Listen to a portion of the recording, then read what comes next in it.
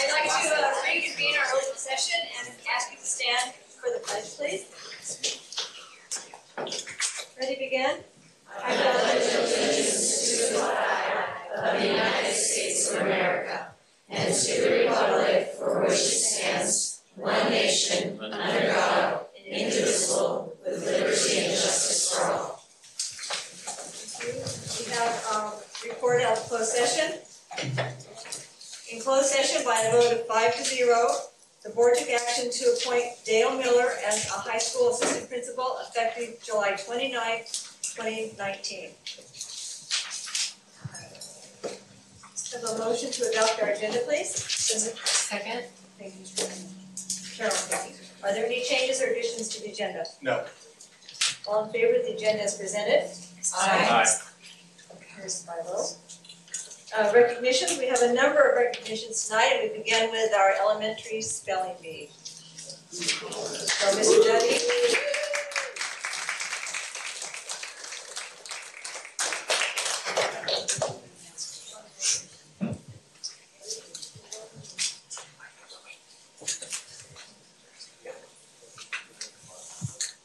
Good evening, everyone, board members, community.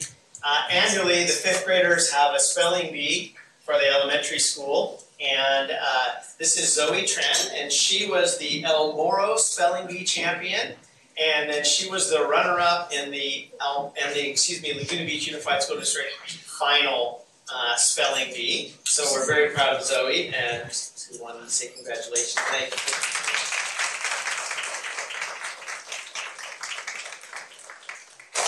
This is Elise Chen. She is the uh, she's the winner of the TW El Spelling Bee. So it was it was an amazing competition. It, it got down to the final two. And I think they went back and forth at least through about 20, 25 words. Just I mean it was it was amazing. But I mean the, most of the kids that were still waiting were like, can they just lose? We can get the ice cream. just give them both the, the, the, the prize. But they they were it, it was it was great to see. Just the competitive spirit amazing spellers, but it's, it's, it was a very cool experience to, to witness, and I'm sure it was great to be part of. So congratulations, Elise, we're very proud of you.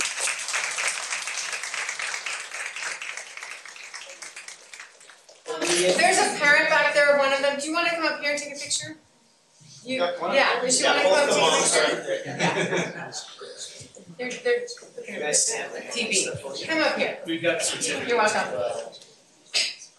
So I thought it was really good. Can I get you guys to stand in front of the podium? Okay, so Elise this is from you. Zoe, this is yours. There you go. I'll get you guys to stand on either side of.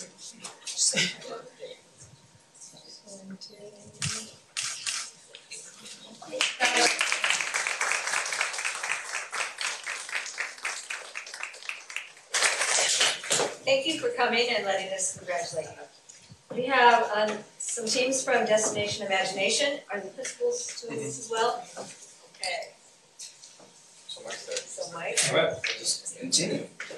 Pull up the uh, email for you. All right, so we have two teams from top of the world that, that competed in Destination Imagination. So if I can have the banana, banana, banana, uh, beach neighbors, consisting of Emma Berg, Piper Clausen, Colin Gregg, Kais Kaiser, and Justin Yee. Please make your way to the front here. They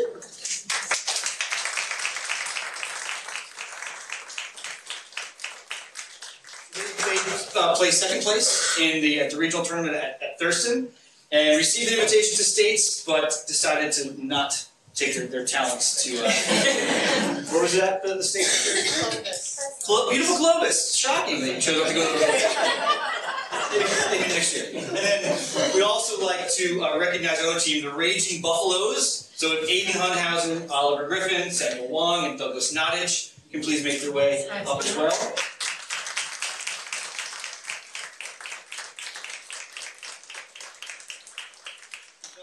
Lone Raging Buffalo.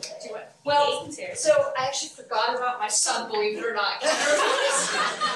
Turn up and not him. Uh, yeah, he's at home. well, still raging. So yeah. Uh, finished first at regionals, and then their finals at uh, they're still waiting for the, the final six. They did go to states and compete in states as well. So amazing, amazing job, all you. I know you, I'm sure you got a lot out of the experience, and we appreciate you representing Top of the World so well. And we have some certificates for you.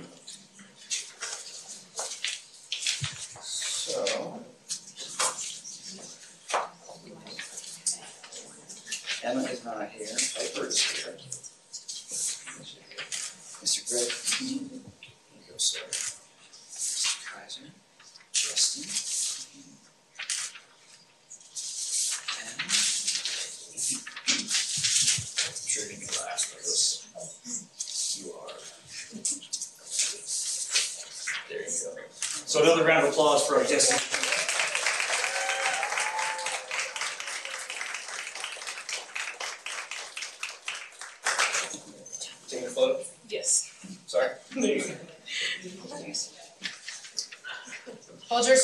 just out there. Upside down. Upside down.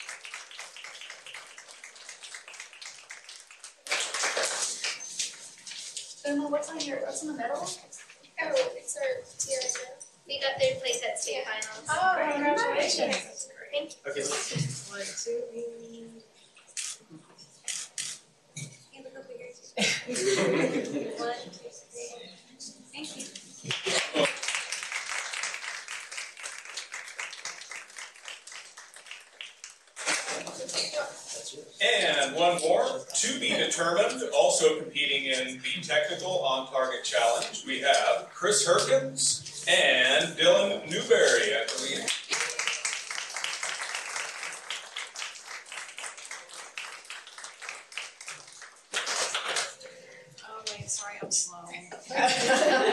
Jeez. Thank you.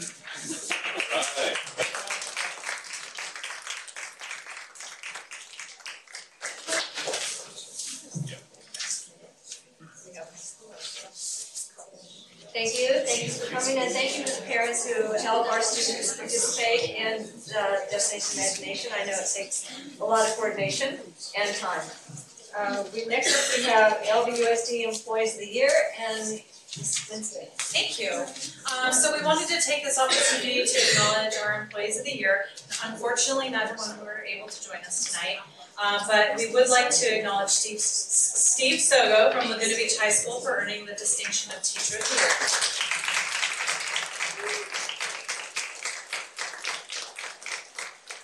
And we would also like to rec- uh, recognize Nikki Romano from TOW for earning the distinction of Classified Employee of the Year.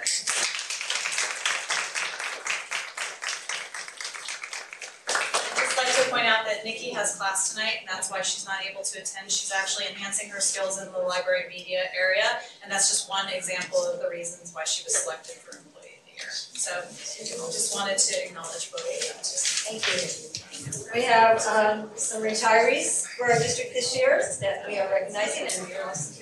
Thank you, President Vickers, if you would help uh, join me. We're going to go by school for our retiree recognitions, but first I was wanted to uh, mention that I'm honored to help recognize and congratulate our staff, and it's so great to see so many of them here tonight who've retired or will be retiring this year.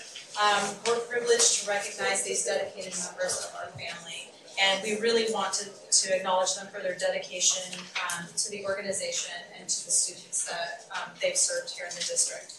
So we're really fortunate um, to have them and to be able to acknowledge them and recognize them for their service tonight and to wish them the best as they move into the next chapter of their lives, which is I'm sure to be very exciting. Um, so first we're going to start at TOW, so I'm going to have Mike Conley come up.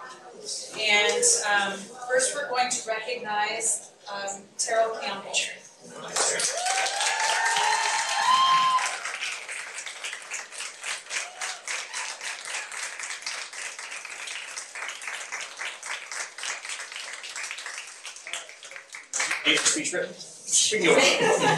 So I've had the pleasure of, of working with Tara these past five years. She has spent 26 years on uh, TW's campus, enriching the lives of countless students. Um, you, get, you go into her classroom and you can just you can sense her passion immediately. She cares so deeply about the students' well-being, but also strives to be the best possible uh, educator and instructor, and it's continually grown and really taken on any new learning and applied it back to her classroom. Um, it's just, yeah, she's been the rock of the fifth grade team. I know her team will miss her dearly next year. Um, but we just, we appreciate your passion for Talbot World, for all you've done for the, for the students. And uh, we really, again, thank you so much and we wish you nothing but the best.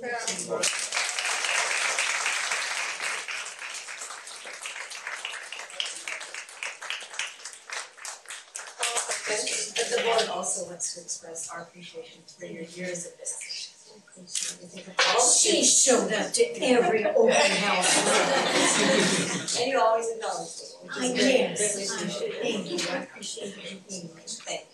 I'm disappointed because I thought it was twenty-seven years. Oh, well, double check with HR. Maybe one more year, maybe twenty-seven. I just wanna thank you for the opportunity to show up to such a lovely place for twenty-seven years and the best part was greeting those sweet students every day. I remember when I couldn't stand the thought of summer coming because what in the world was I going to do without my students? And I adjusted eventually.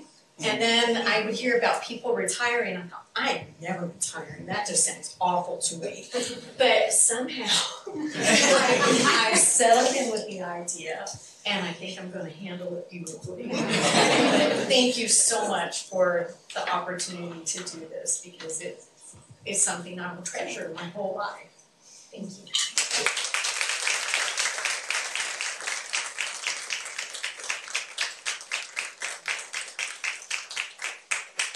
Next, we have Patty Raven.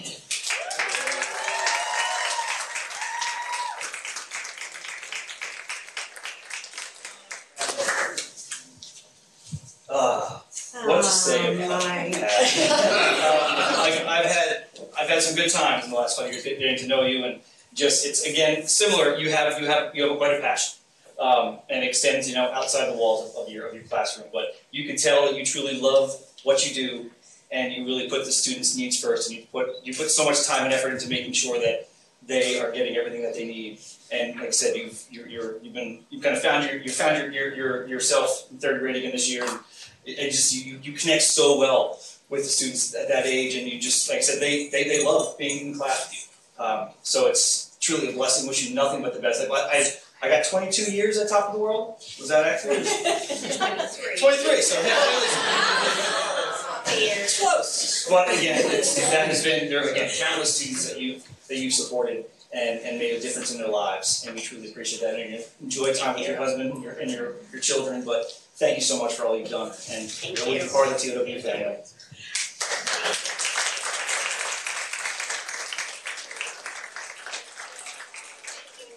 Being here with every single open house, back to school we appreciate your support. Um, I wanted to thank the board, of course, and I have been so lucky to work with such a professional administration and uh, professional colleagues. It's like no other, seriously. So, um, and of course, the kids are a bonus, so, and their parents, right?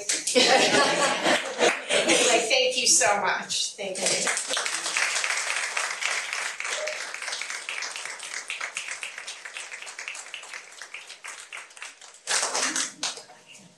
Alright, next we have Thurston Middle School, so if Mrs. Salberg would come up.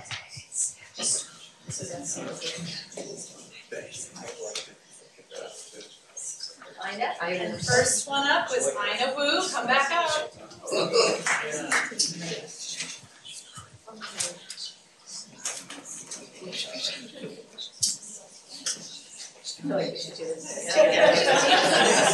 Uh, okay, so when I first met Ina, um, one of my favorite things that I loved about what she was doing in the classroom is she was such a quiet talker that you really had to lean in to hear everything that she said. And I don't know if you did that for all the kids or if you did that for me to teach me how to listen a little bit more, but it definitely made a difference. And one of the things about Ina is teaching science is a given. She has very high expectations in her classroom academically, but she also teaches them how to be eighth graders. And I think in a time and a place where we move so quickly and so fast that we forget some of these basic things for them, they're still just eighth graders. And you spend so much time thoughtfully going through and supporting each and every student. You are so wise. You're such a team player. She helps out with everything, Knott's Berry Farm, uh, things on the campus, DI tonight. Uh, you're our resident doctor. I can't tell you how often I would catch her in the hallways and somebody would be saying, hey, what about like you always supported everybody in all capacities on our campus. You will be missed forever, but I think uh, the saddest part is our future eighth graders will not see you dance at the eighth grade dances anymore uh, because Ina has some great moves, so you'll be missed. Thank you.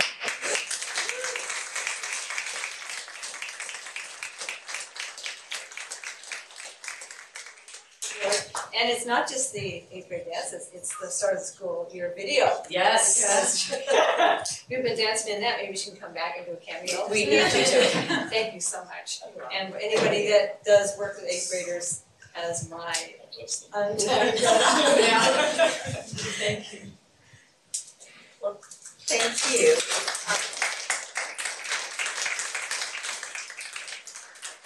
Thank you to the board um, for all the support you've given me through the years. I want to thank my colleagues and um, administration at Thurston because it's just a great place to work.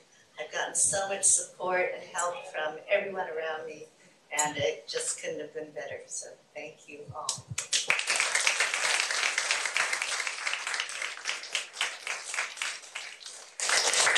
Nancy?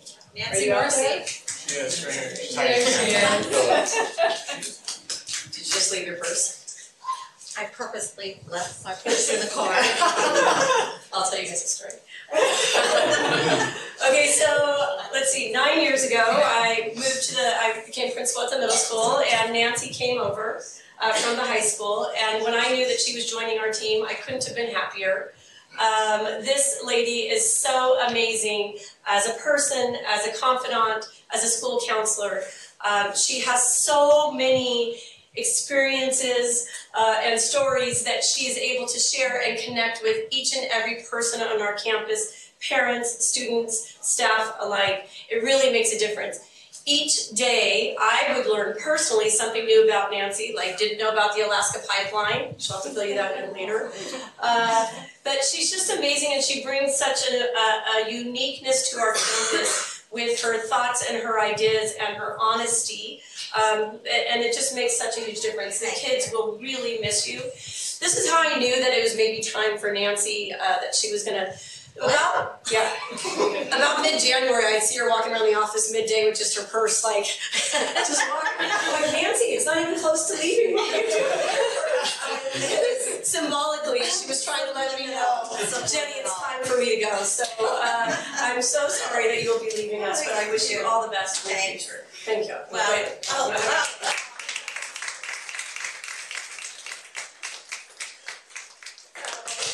Before you say Oh, that, thank oh. you on behalf of the board. Great, I got one. uh, He's right, he's right, he's right. Film at eleven.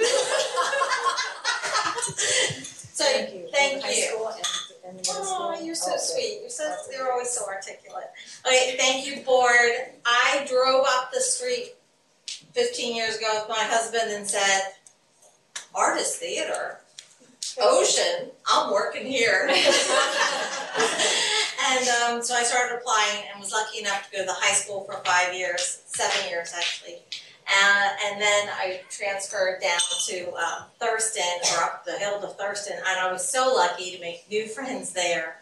Have loved being at this district and working with such professional people, and so so amazing that um, I've been able to create a new a new world here, and now I'm ready for another yet another adventure.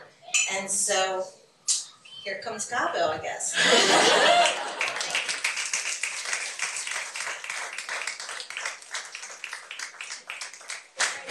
We'll move on to Laguna Beach High School. Jason Allemann, would you please come up?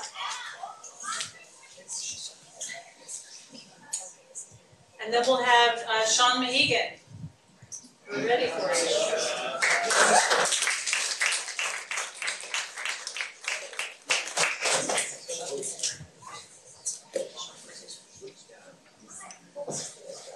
Greetings, everyone. This is Mr. Mahegan. He's an English teacher extraordinaire with 20 plus years in our district. Um, and uh, I've really appreciated my short time in working with him and feel honored to be able to help him close out his career. Uh, he's always, even in the even in the last couple years I worked with him, um, lucky enough to see a, a practitioner who's very reflective in his work. Um, and the nice thing is he always makes an honest attempt to make learning for students relevant and applicable for them in the classroom. Um, his colleagues within his department and on campus appreciate his tough, rugged exterior. um, but more importantly, he is uh, able to enjoy a poignant piece of literature uh, and a nice poem. He's a refined, rugged, you know, he's a refined, rugged.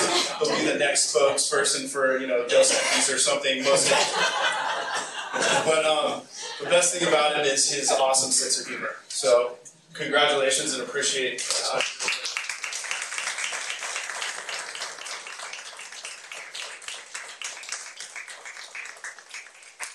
Well, I'd like to start by thanking my agent, the Hollywood Foreign Press. um, no, honestly, I, I taught in Florida for four years before I came here. And so I've seen what education shouldn't be, and I've seen the best that it can be. And uh, it was a privilege and an honor to be.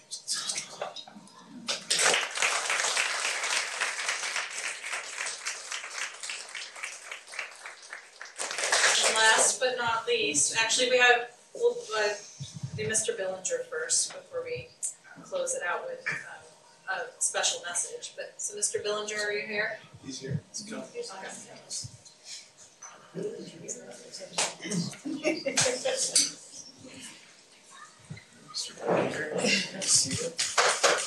So, friend and colleague, Mr. Billinger, 29 years in education.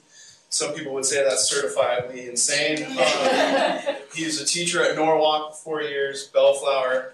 Um, started his admin career at the uh, School for the Arts Orange County's High School for the Arts, and then has been with LBUSD since 2005. Um, everything Bob does is uh, the actions he takes, the decisions he makes, um, they're done with the student's best interest in mind. Now, students and parents might not always agree with that being what's the best interest of students, but he does it always for the right reasons and to help students maximize their potential and growth. And it's been an honor to work with him for the last couple years too, and I appreciate all you've done for the school community.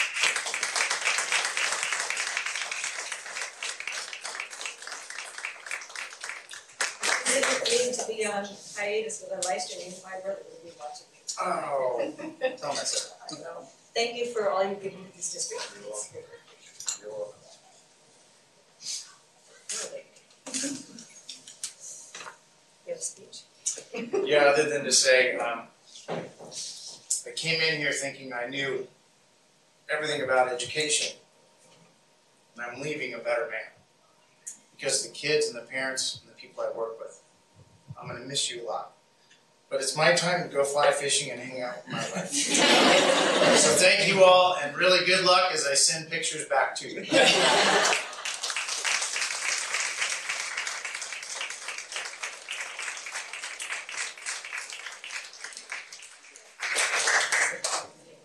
So, so we have um, a special message. Um, Odile Dewar wasn't able to be here tonight, um, but she did uh, leave us a message, and we still want to honor her, and we'll, we'll play that message for everyone. Good evening. I'm so sorry I cannot be with you here tonight, but I would like to say one. You guys, just let me have that.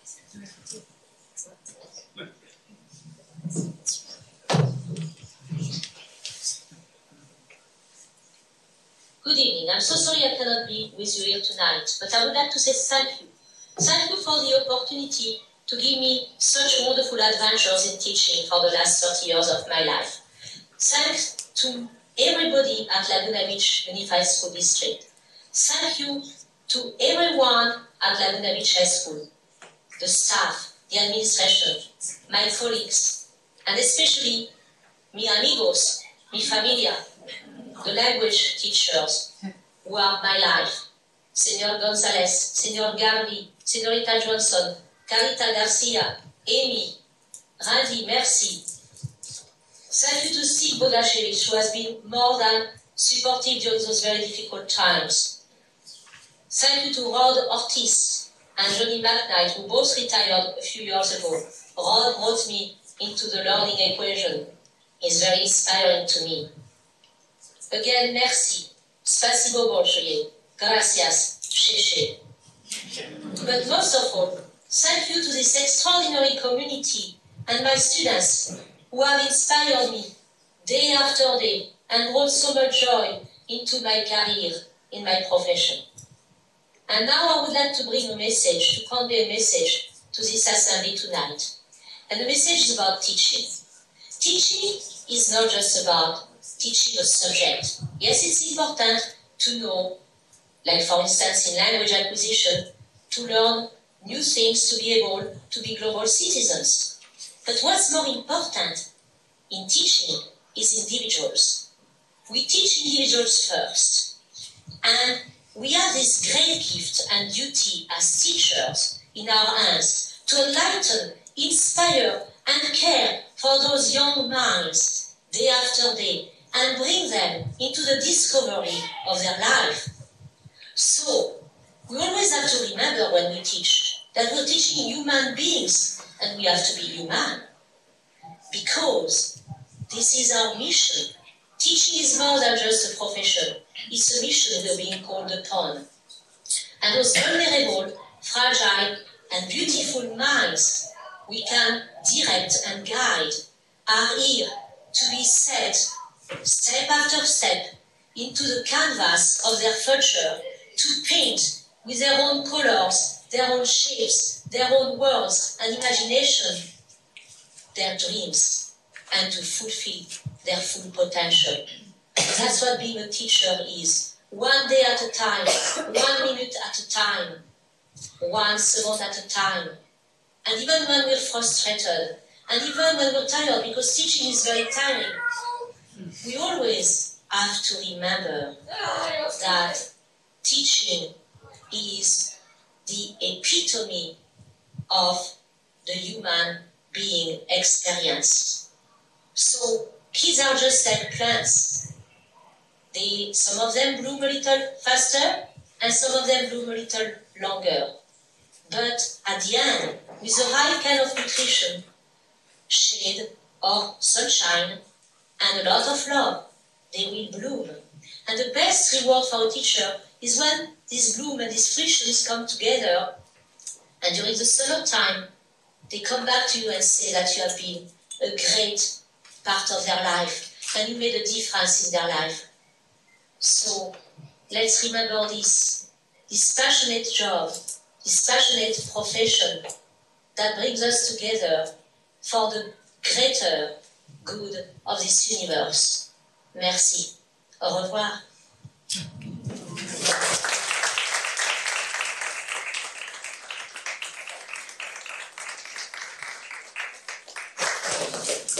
Thank you, Mrs. Sinclair, for putting that all together. Uh, We need to go back to DI, because we have a high school team. I'd like to recognize the brilliant Boom Bam Bananas, uh, who uh, and visiting us tonight are Miles Real, Miles Real, Joe Hovanesian, and Jared Moy. Welcome, gentlemen.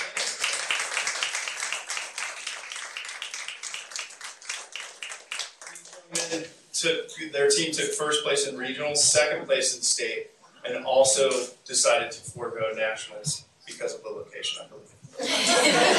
Congratulations.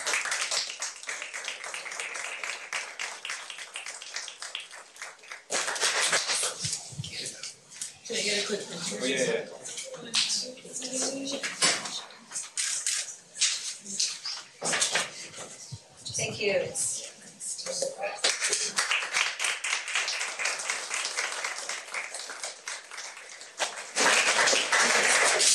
And we have uh, school power teacher grants. Sarah Duran, you're presenting these. And Chris Clark.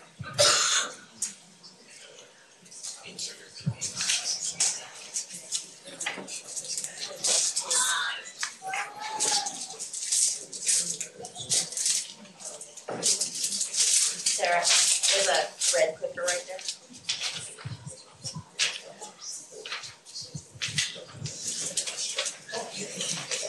Good evening, everybody. What a wonderful night to be here, uh, honoring students, honoring teachers, uh, and now we get to give away money too. It doesn't get any better than this, it really doesn't. Thank you so much, I'm Chris Clark, I'm the Endowment Board President, and we're here to thank you all and the community for supporting School Power, uh, and to thank our educators and school board members that make our schools just simply fantastic. Uh, that's why we're here as School Power uh, supporters. Uh, we're here to support you uh, because of everything you do uh, for each other and for all the students of this community. Of the money that School Power raises each year, about 20% goes into the endowment fund. Presently, the endowment has over $3.9 million that we are investing and saving for this school district. Each year, about 3% of the endowment fund is used for teacher grants. Teacher grants are one of our favorite programs because their requests come directly from our educators. The teacher grant goals that we have are, are very broad. We like it that way because we want to encourage uh, excellence and innovation in teaching. We want to fund innovative programs that might not otherwise be funded. And we want to expand upon the current curriculum with innovative teaching strategies. On behalf of the endowment, I'd like to present this check to the district for $111,450.14.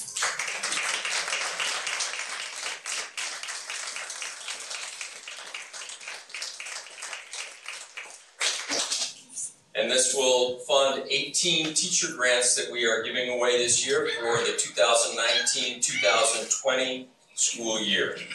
Now I'd like to introduce uh, Sarah Durand, our Executive Director for School Power, to help present the certificates to our award winners, or grant winners, I guess.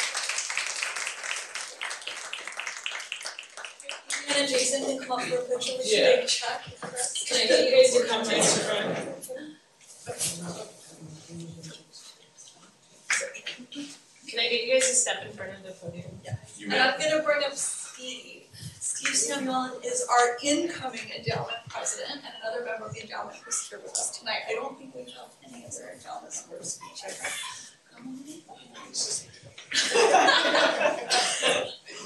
Alright, one, two.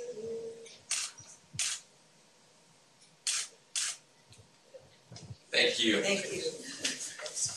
You're welcome, you can keep this.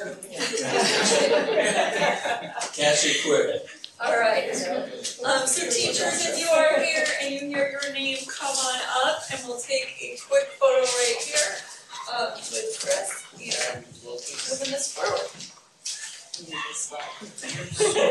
All right, so our first, um, this is a total grant, this is actually three grants combined into one for STEAM lab materials, including kind first watches, animal skull replicas, and alternative energy lab kits.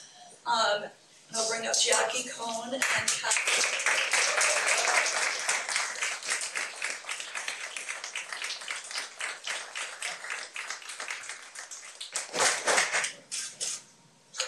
Thank you guys, congratulations, congratulations. For the outdoor extension of the STEAM classroom, uh, Kathleen, stay on up here.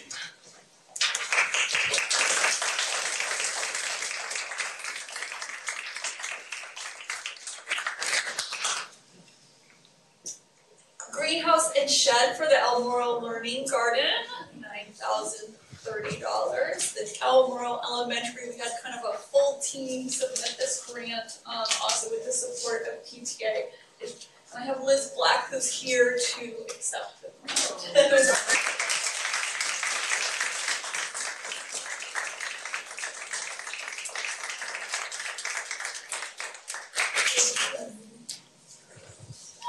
For the STEAM mobile magnet wall and engineering blocks for the kindergarten playground, Mariah Holiday.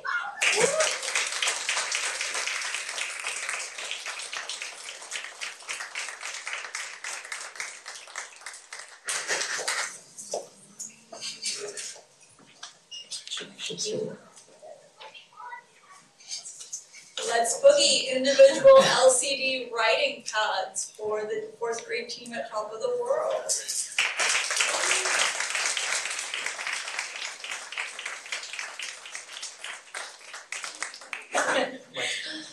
Osmo sets for the kindergarten classrooms at TOW. Come on.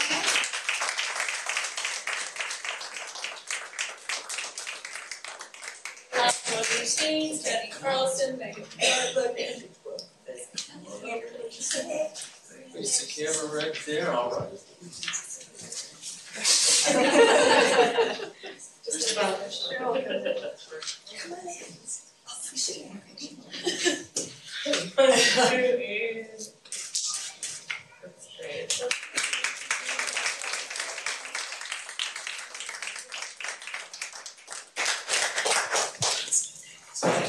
Controlled text readers for the reading intervention program at TOW, Living Marshall and Pam Howland.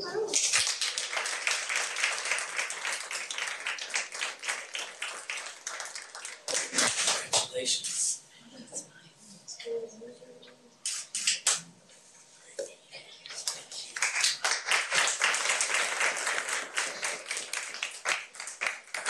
Fifty Garmin watches for the Thurston PE team. And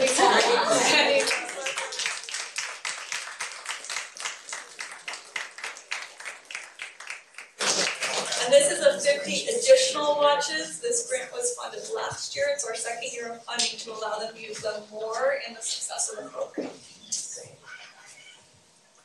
Um, show kit and musical rights for sixth and seventh grade drama.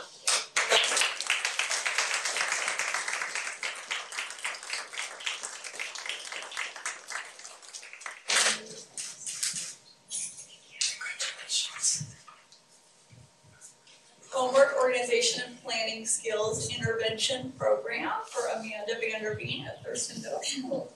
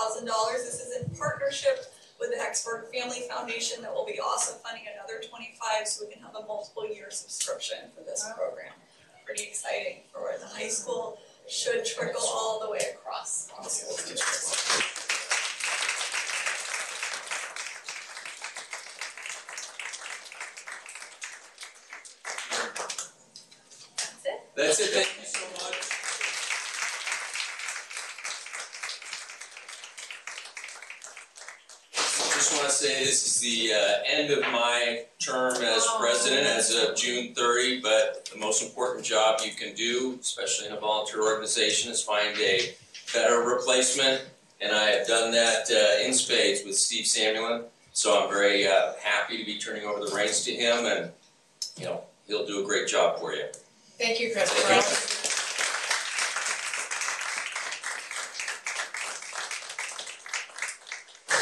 Thank you all our teachers and recipients that came to get recognized for your teacher grants, but I also want to comment, and I know that Member Perry would also notice that this year, this, the endowment board spends a lot of time going over these, asking a lot of questions, encouraging teachers to apply for more, even asking, are you sure this is all you need? You asked for this many, but maybe you need more, so it's, it's a really thoughtful process, and they spend a long time making their selections and, and encouraging that support for our teachers to have something extra that, uh, and you can see they're excited to give that. So thank you, Chris, and the, and your board, and thank you, Sarah. Thank you.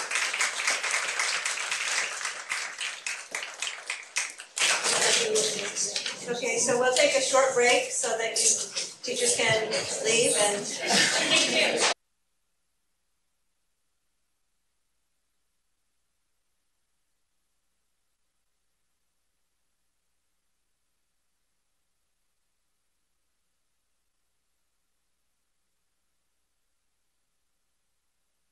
Come up and speak. I don't see anyone that has a comment on that, so we'll move to reports, uh. You have two cards. Two That's- cards? I submitted a card. Okay. Did I miss it? Did I fill it out wrong again? No, no, no, I just. I, I may have filling them out, so I'm not sure. Okay, yes, it's on here. Yes, Sherry. And, yeah. Okay, that was our fault, we thought one word said waiting and it. Sorry. Message. Before my time starts, I do wanna, um, thank the teachers that are retiring. We had Mrs. Campbell and Mrs. Reagan. I think all, four of my kids had Mrs., three of my kids had Mrs. Campbell. she's awesome. Um, Morgan, um, I'm here again to remind you, the board administration, that you serve, um, your constituents, and that you need to keep them in mind as an important compass as you make your day-to-day decisions. The people that are sitting before you in this room, um, are taxpayers, and as taxpayers, they fund ninety percent of this basic need district. When the community takes its time to appear at a board meeting and petitions are signed by four to nine hundred people depending on the subject, it is imperative that our school board and the administration strongly keep that in mind when making decisions on policy and things that directly impact the community as well as our students. Challenge success, the current educational reference point in our district is being implemented without consideration of the community, yet ad- in adapting to the community that which is strongly emphasized by the author and district paid speaker Denise Pope. She uh, strongly emphasizes block schedules, exam before finals, along with many other factors to support our students' emotional education journey but it seems that our district is pushing through ideas and decisions as though each one is its own independent process without looking at how things impact the whole picture and everything in between. The Bell schedule is a result was is being claimed as a result of the calendar change. Um, yet during the committee, it was um, it was indicated that it was all about the students.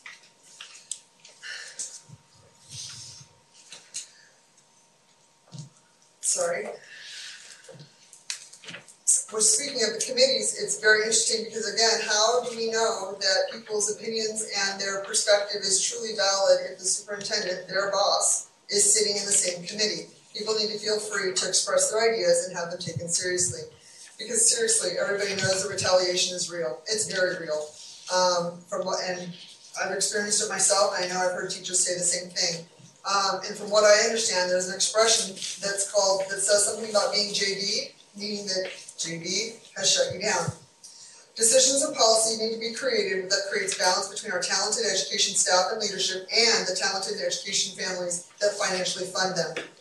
Mr. Viloria, you were hired by the community to, and the board was elected through community votes, but, votes, but that does not mean that your constituents have no voice, opinion, or valuable perspective that should be considered. These families are highly educated, have various perspectives that while considered through surveys and conversations, Ideas are interpreted without dialogue and clarification and turned into policy and programs that are more in line with the superintendent's agenda, agenda and union demands, sorry teachers, I love you, rather than out of the box thinking. Challenge success is a framework, Pope, a guide, not an instruction manual or a Bible. We have the AP performance that continues to increase despite our calendar. We have a new bell schedule coming into play at the high school that in my opinion is very anti-family. You have two schools that start within 10 minutes of each other, and if you have three kids in all three schools, you have a late start Monday, Friday, and an early release on, on Wednesday. Maybe you'll get laundry done, I'm not sure anything else. Um, when I asked about the bell schedule, they, I was told that families would figure it out. Sure, you need to finish up, please. Okay. Um, sports were integrated in the schedules, but it's at the same time at two o'clock on Mondays, even though um, two o'clock every day except for Mondays, but it's still called a class. Why wouldn't we have thought about rotating all classes so that the students don't only miss one class maybe once a month, rather than having this really bizarre, wacky, very involved schedule? We have the honors program later today, but this brings me to my last comment. Um, and this is a tough one because um, I received an anonymous letter. I know the board received an anonymous letter, and I understand that it might have been asked to be kept private. Um, but it can't possibly be private and confidential if members of the public received it. Um, the letter expresses concerns over the superintendent and how he feels like he's beyond reproach, how the leadership style has created a toxic work environment all the way down to the site letter.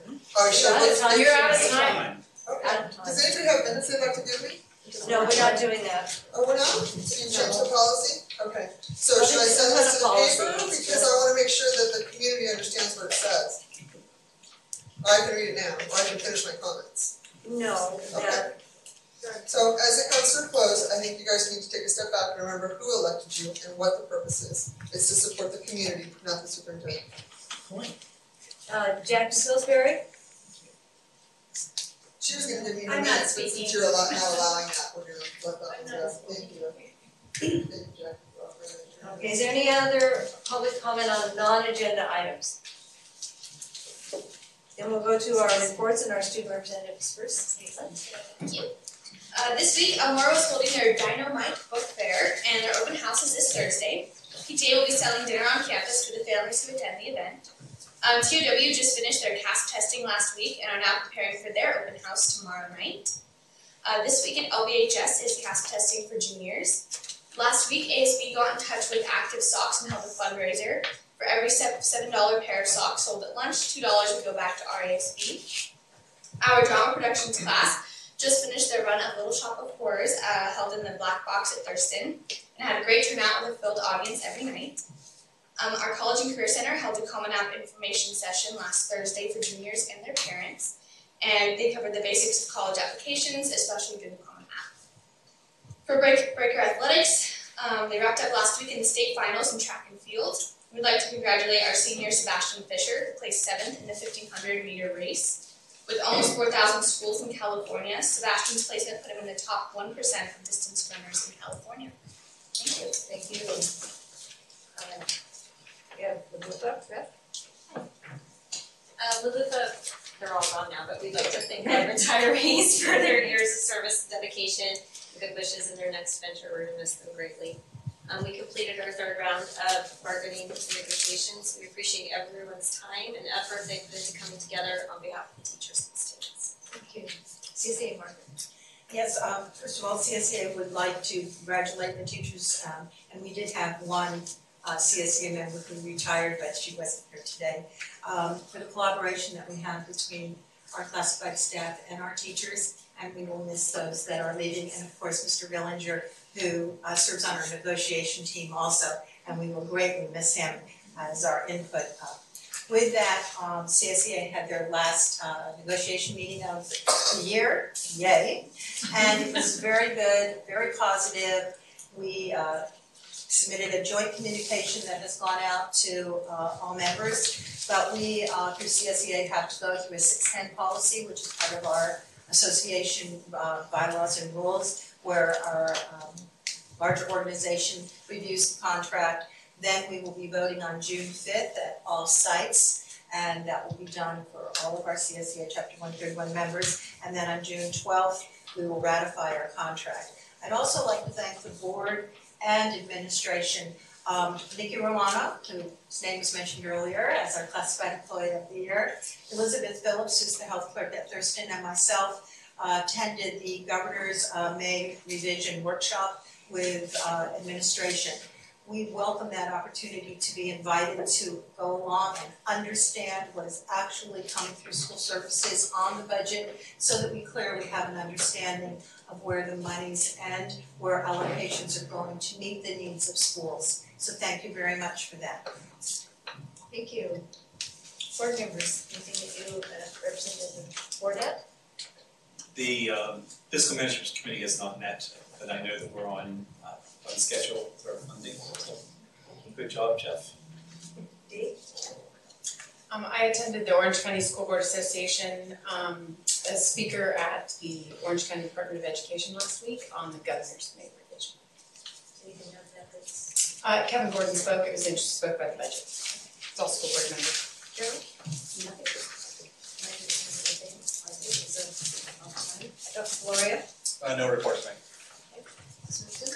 I just want to thank um, both the members of the CSEA negotiation team as well as um, the members of the district negotiations team that really worked collaboratively using um, interest-based bargaining principles to come to a, a collaborative agreement. Um, and thank you, Margaret, for your leadership of, of the CSEA team. Great. Thank you. Just a few things. We're closing out the school year. Um, we are preparing summer professional development for teachers and classified. And we are in the midst of our annual residency process and following up with our families. So thank you for your support. Thank you. Okay, we have, uh, next is our consent calendar, um, are there any items that board members would like to pull? And I'd like a motion please for items on the consent calendar, A through N. Cindy? Second. Thank you. Is there any public comment on any of the items on the consent calendar? Any board discussion? Um, three questions. Then all in favor as presented? Aye. Opposed? Carries five oh. Our next item is our, we have one information item tonight, that's item thirteen, report on weighted grades slash credit at Laguna Beach High School. Dr. Nepo?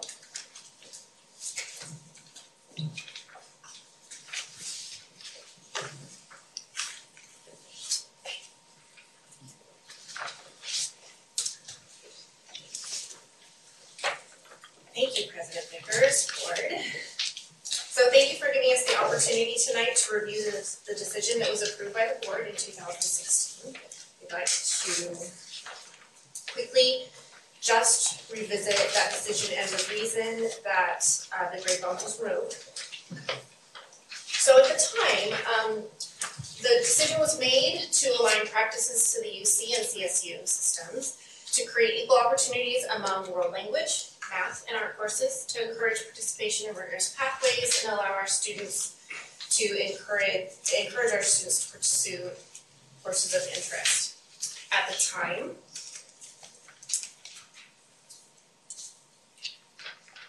at the time, we unweighted uh, the items on the left. We removed honors geometry and English nine honors, English ten honors, Spanish two, three, and four were were also unweighted. Honors algebra two. I'm not, this is not the, one. this is not the, The revised one. Yeah, this doesn't match the packet we were saying.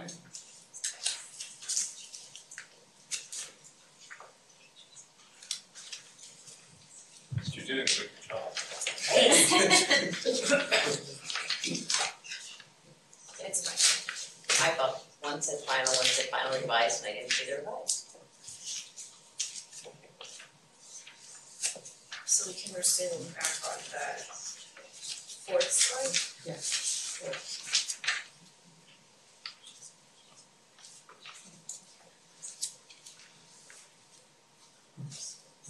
Yes. One, One more back. back. There we go. Okay, so at the time, um, these courses were unweighted, nine, two through four in Spanish.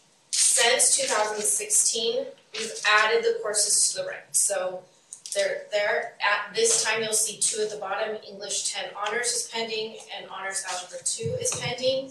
Should it be approved by the University of California, it would go retroactive for two years.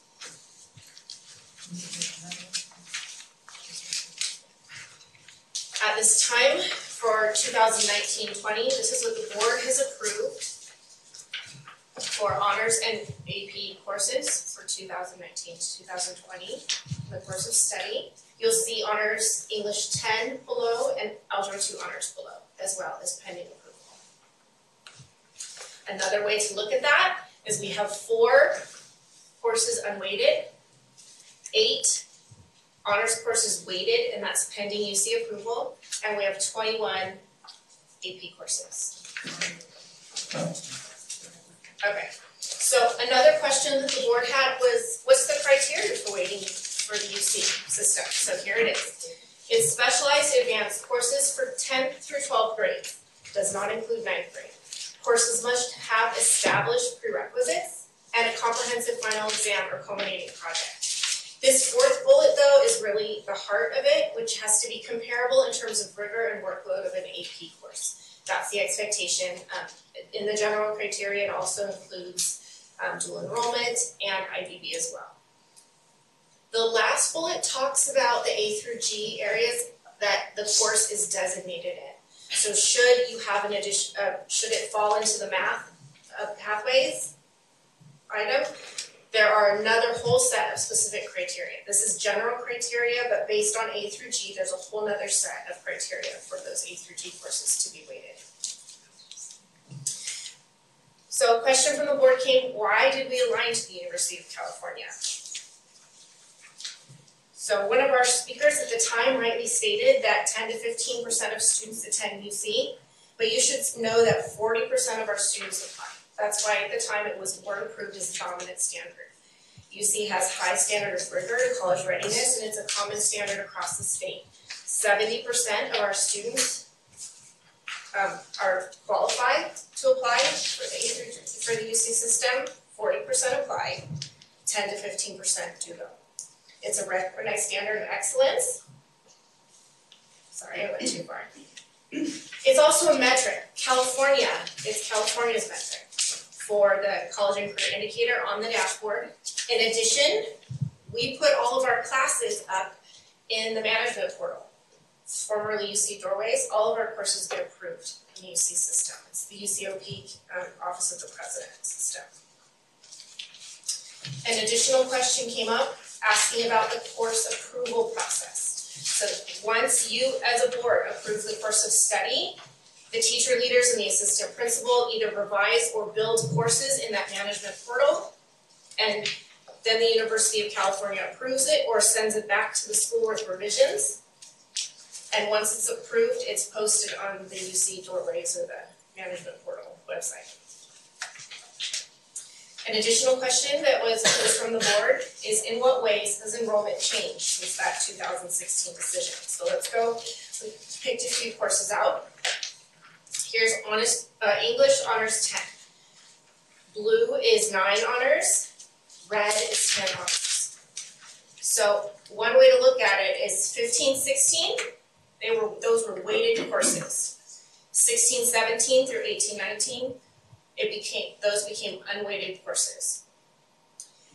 The percent talks about the percent of students that opted to go into the honors. So let's break this down. So thirty-six percent of English nine students opted for honors, whereas sixty-four percent didn't. So we, we showed you the percentages of students that selected to take the honors course.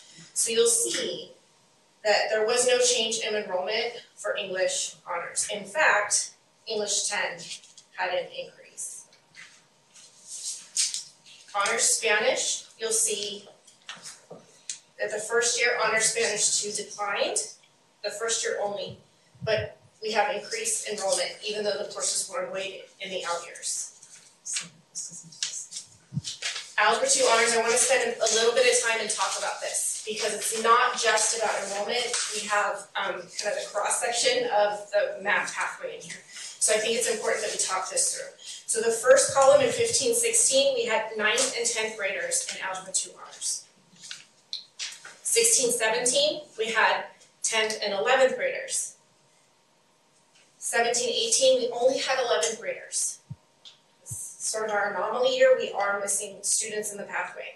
However, in 18, 19, we have our advanced middle school students.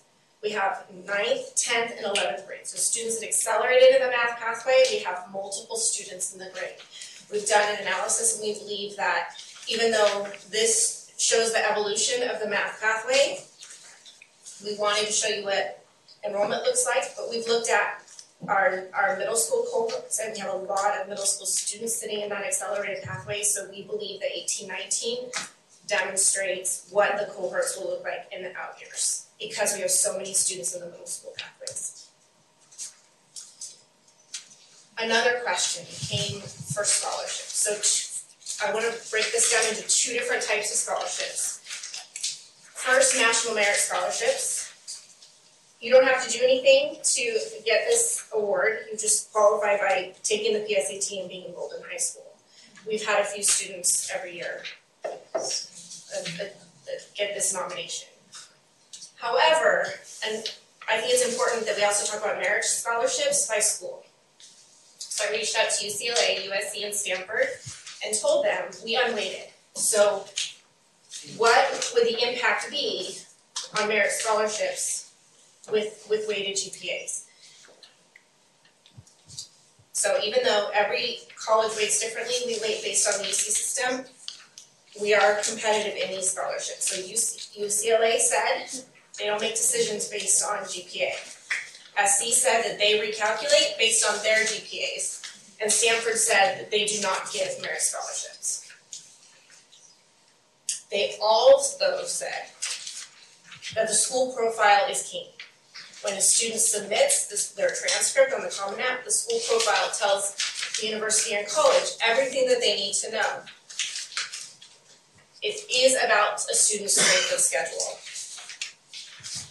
So, so when we have 2,800 schools and about 150 are considered highly selective, which means that they they admit less than 50% of their attendance rate, we know that about 150 to 200 are highly selective. they all recalculate with the exception, according to Denise Pope, to five or six of them. Five or six of those G, of those schools take the school's GPA that's weighted. All of the other ones, according to Denise Pope and Julia Scott Haynes, the strength of schedule tells the story of the student's GPA.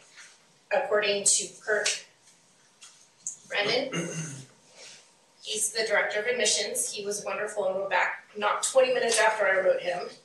This is what he said, an absence of waiting doesn't hurt your students at all in our process. We don't pay attention to the GPA provided by the high school. We recalculate our own GPA, but even then, it's just a number. In general, more A's is better, but we'll admit students that we think will engage most effectively. He goes on to say that on average, most USC students that are admitted have about, on average, five B's, and they think it makes for a better community. So we appreciate your support. With your support, we'll continue to align to the UC system in preparation for all of our students. What questions And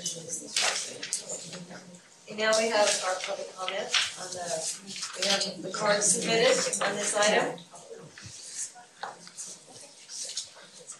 Just, uh, this is an information item again for us tonight, but we have uh, Amy Kramer.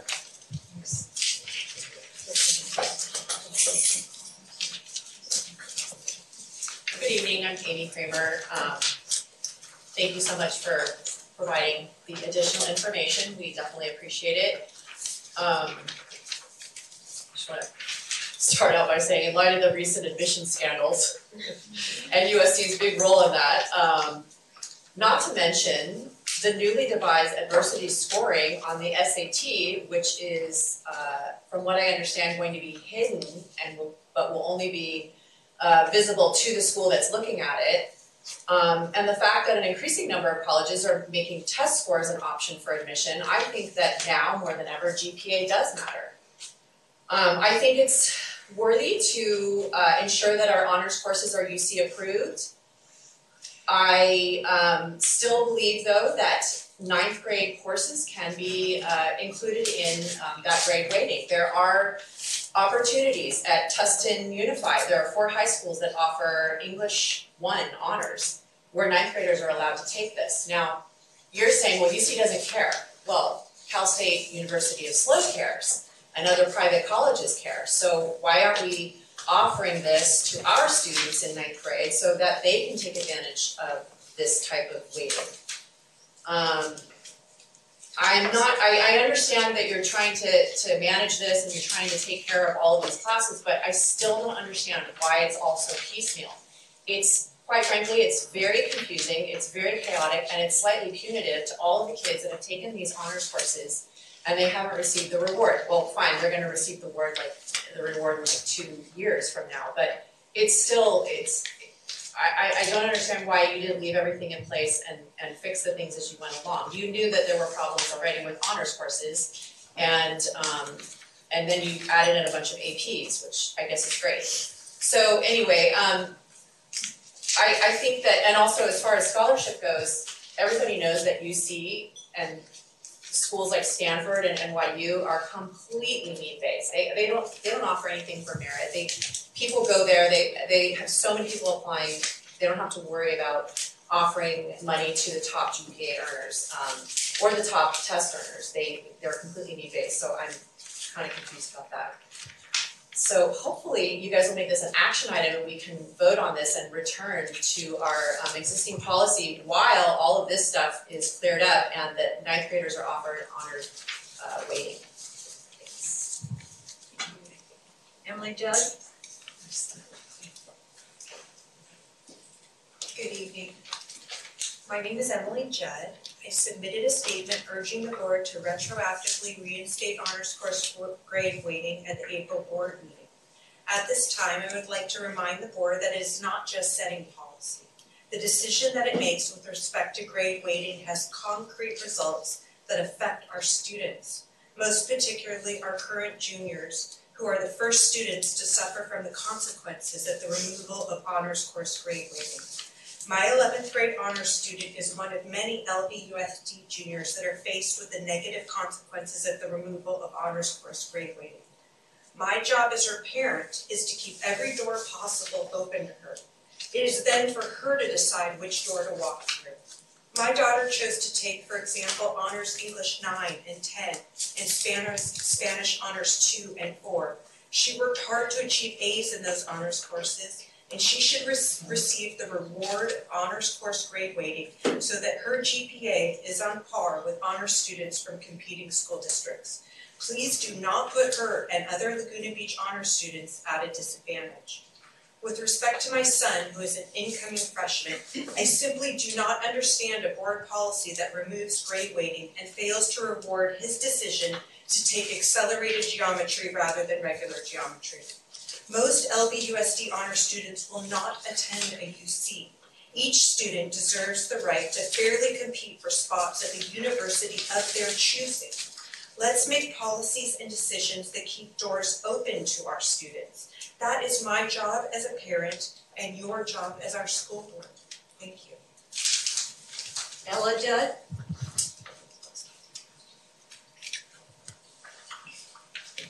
Hello, my name is Ella Judd and I am a junior at Laguna Beach High School. I am here today to discuss and question why LBHS has decided to no longer weight many honors courses. In a perfect world, students would not be constantly labeled by numbers, test scores, and letter grades, but unfortunately, in reality, these labels are paramount when it comes to applying to college. While it is true that only the top 200 or so schools out of the approximate 3,000 colleges in the U.S. are classified as challenging to get into, many of Laguna Beach High School's honors students strive and constantly challenge themselves to be admitted to one of these schools. It has been brought to my attention that the UC schools do not weight many of our honors courses, but why should we align our weighting system to match only nine of the 200 schools that have been identified as difficult and competitive to get into? The UC system already will identify and not take into account the weighted grades that don't match its standards, so what is the harm in continuing to weight these honors courses for the many other schools students will apply to? Honor students uphold the rigor and academic standards that LBHS prides itself with and celebrates, so why not encourage these students with a weighted grade instead of shying them away from a challenging course in fear of lowering their GPA? Laguna Beach is filled with so many talented, hardworking students, and I believe that all of these honors students would benefit by receiving a weighted grade for taking an honors course. Thank you. Terry Meisberger?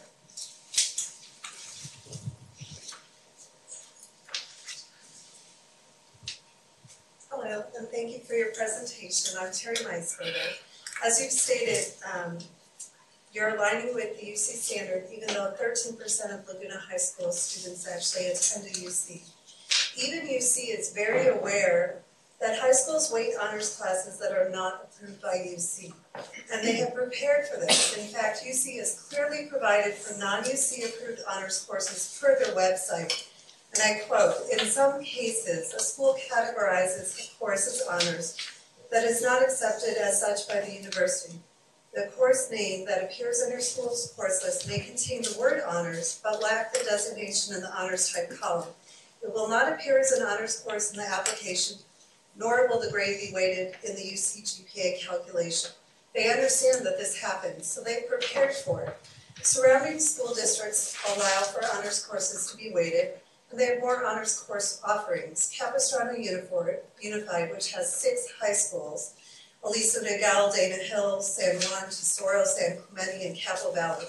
They offer honors in AP World History, honors English 1 and 2, honors biology, honors algebra 2 slash trig, honors pre-calc, honors anatomy and physiology, honors chem, and honors physics.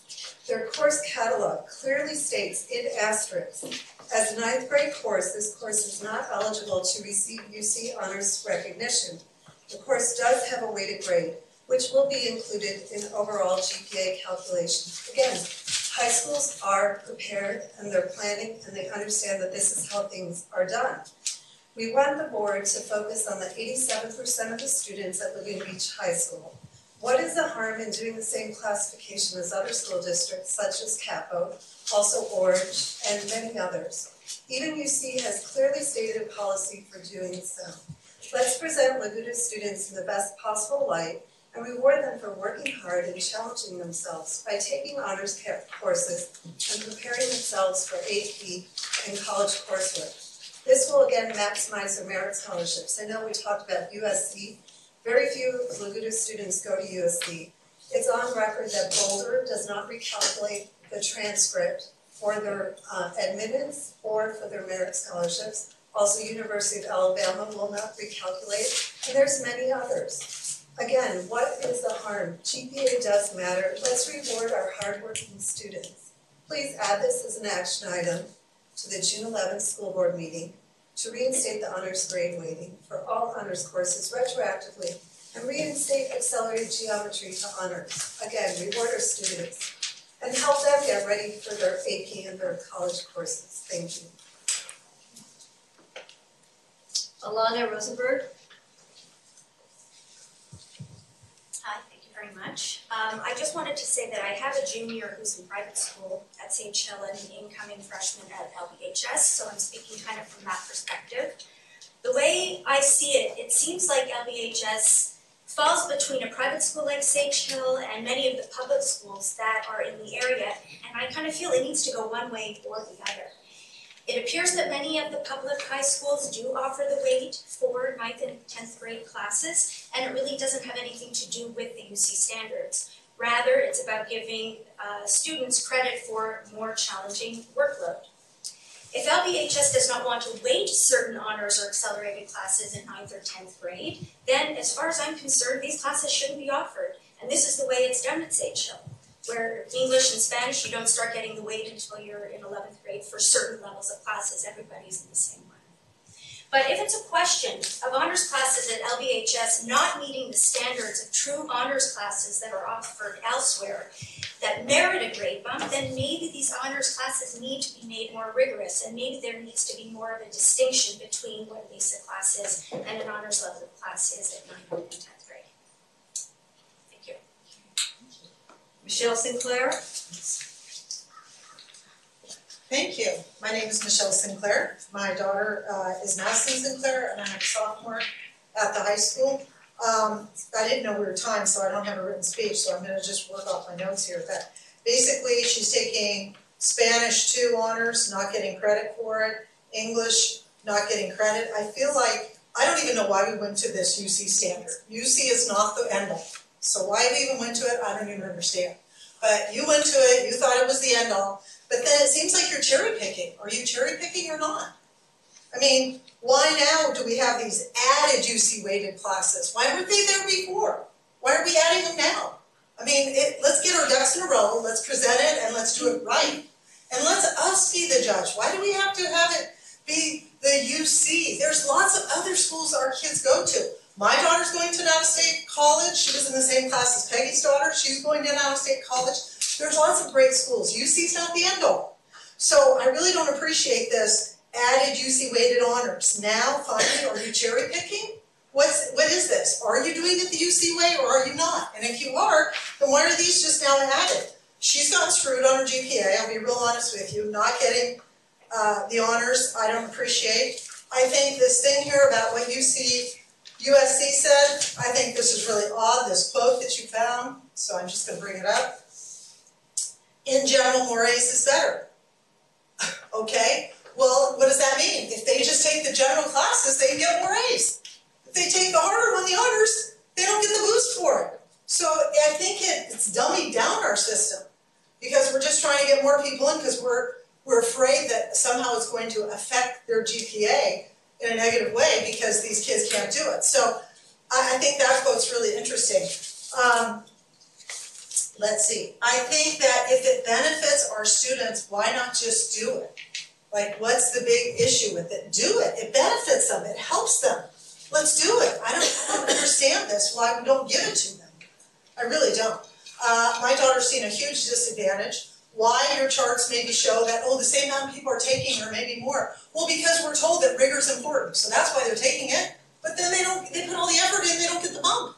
If this is honors, then they should get the bump. I mean, if, if the issue is, well, you're not making it honors, it's not hard enough, then get it where it's hard enough. Okay, so I don't understand that either. Um, anyway, I think class rank's really important, and I think there's a lot of schools that don't calculate. And I think this was just sort of done misguided, and I don't understand why, you know, everything's about the UC, okay? Because there's lots of schools that kids apply to, and I'm really disappointed with this, I'm waiting for this bump, and I'm wondering, how long is this bump gonna take? These classes that you put in here, uh, to be determined, two years, what are we gonna hear, in two years, or in a year? I mean, anyway, that's what. Monica Golden?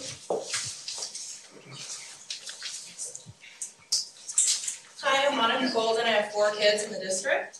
Um, I wanted to first kind of go off script and talk about, um, the enrollment that's not decreasing for the honors courses. Um, you can't just jump into an AP course, maybe one or two at our school, so you have to take the honors courses. Uh, you have to take, uh, honors algebra two to take AP calculus, ask the math department, that is not optional. Also with English, you need to be on a certain course to get to the APs. So now, if the only way you can get a grade bump is to take the AP, you're gonna take the honors courses. Because you can't just jump in, so that's why you're seeing that. And I also wanna address that when you're doing the research and presenting things, you should go and talk to the, the colleges that are unweight, that are not unweighting the GPAs. Why is University of Oregon, UC Boulder not in this presentation? Because there would be a quote saying that we do not unweight them. But we're only seeing the ones that say what you want us to hear. Okay. There are certain thresholds for GPA that you have to reach to get scholarships at some schools, and some universities will make it equal across all schools by unweighting GPAs, and some won't. Some colleges recalculate GPAs for admission based on their own formulas, but some don't. Weighting all honors courses may impact a small number of students, but the impact it has is significant. By decreasing our students' GPAs, students are put at a disadvantage for admittance into college and scholarships um, at universities that don't distinguish between weighted and unweighted. University of Oregon and UC Boulder, we had 11 graduates last year that attended those two universities, and I don't know how many applied. Um, and we were also told five to six of these high-ranking uh, colleges do not unweight. And I didn't have time to research all the other ones.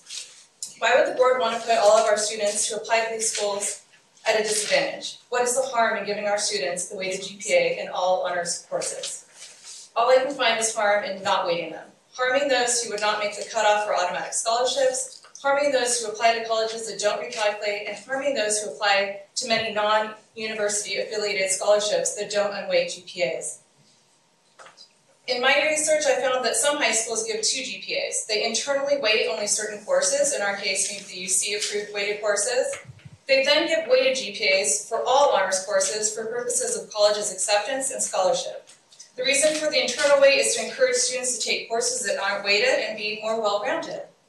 The internal weight is used for class rank and valedictorian.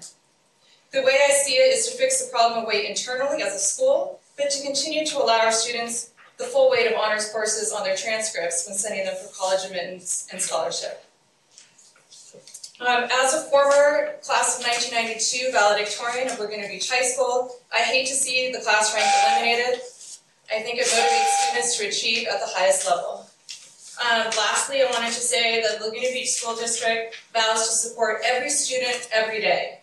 Waiting, uh, with the waiting change, is not supporting every student every day. It is only supporting those who are applying to certain colleges and those that are not, are not being supported. I have more to say, but. Jason Hoffs?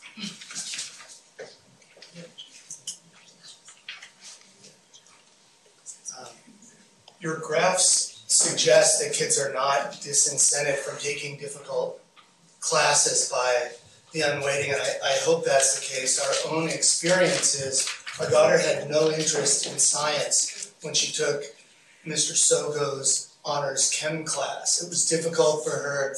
She struggled at times. She ended up, I think, like getting an A in the class, but she was totally turned on to science. So then she, she took ACR, she loved that. She had an independent research project. He hooked her up with a lab at uh, UCI where she did research over the summer. She decided that she wanted to go chemistry. She was admitted last year to uh, Stanford. She's doing chemical engineering. She's trying to solve the world, world's sort of meat problems by by creating sort of animal protein like Beyond Burgers that mimics meat, and it all started with like Steve Sogo's class. None of us in our family are into chemistry. We're liberal arts people. What she's doing is unfathomable, and I just hope that people that that the kids aren't disincented from reaching to take really, really hard classes. We're always going to be grateful to LBUSD and your teachers till till we die because of you know the great things that you did for our daughter. You give her credit for taking Mandarin a few years ago when nobody had done that before, and that helped her get into school too. So I just want to say thanks and please do everything possible to keep the kids reaching. I know they shouldn't have to be incented by getting a five, but maybe they are, and uh, that's it. Thanks. David Flores?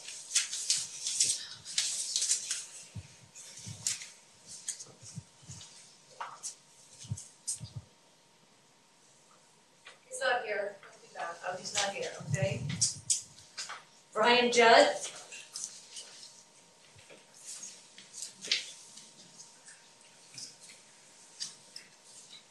Thank you, Honorable uh, Chair and board members. I do regret having not submitted my card before my wife and daughter, so I have to speak after them, which is tough act to follow.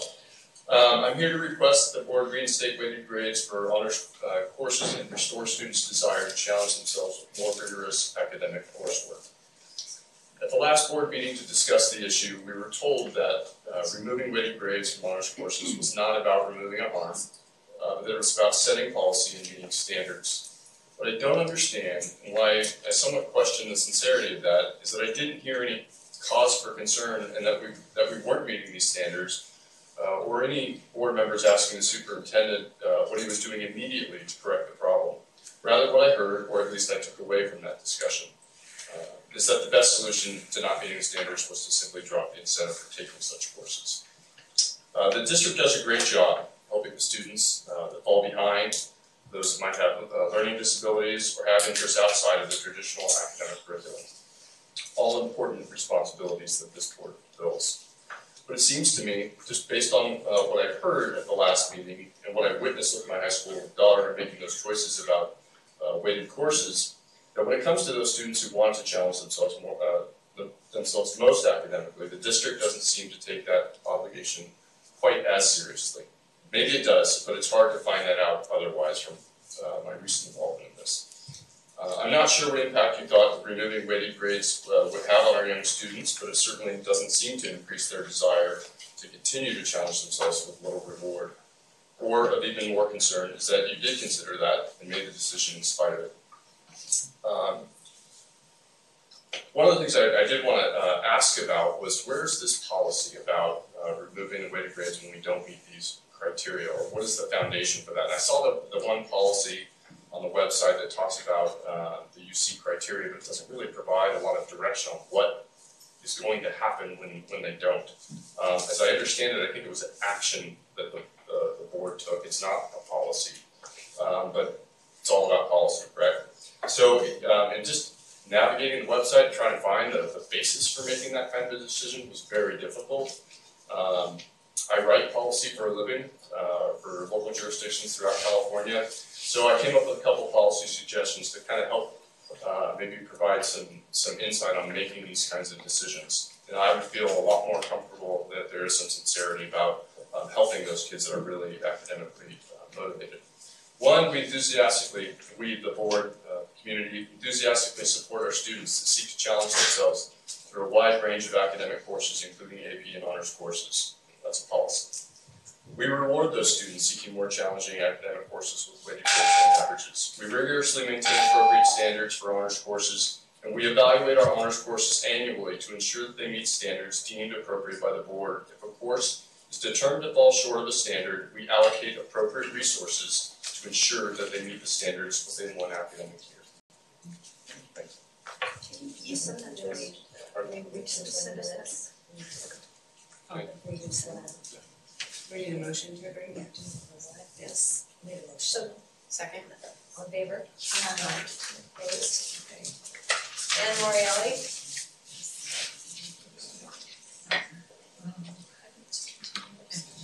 We just had to make a motion to extend the amount of time people speak. Sorry, I don't think you could hear Jan, sorry. Oh, She was letting us know, sorry about that, yeah. Yeah. Are we wanting to put them back in? Yay. Yay. So I feel like if having the honors classes weighted, that you unweighted was such a bad thing, you wouldn't have phased it out. You would have just stopped it right then. No more for, now you have kids who are taking honors classes, I think it ends this year, right? They're all graduating with the bump. If it was such a big deal, then you would have stopped it for everyone at the same time, instead of phasing it out like that.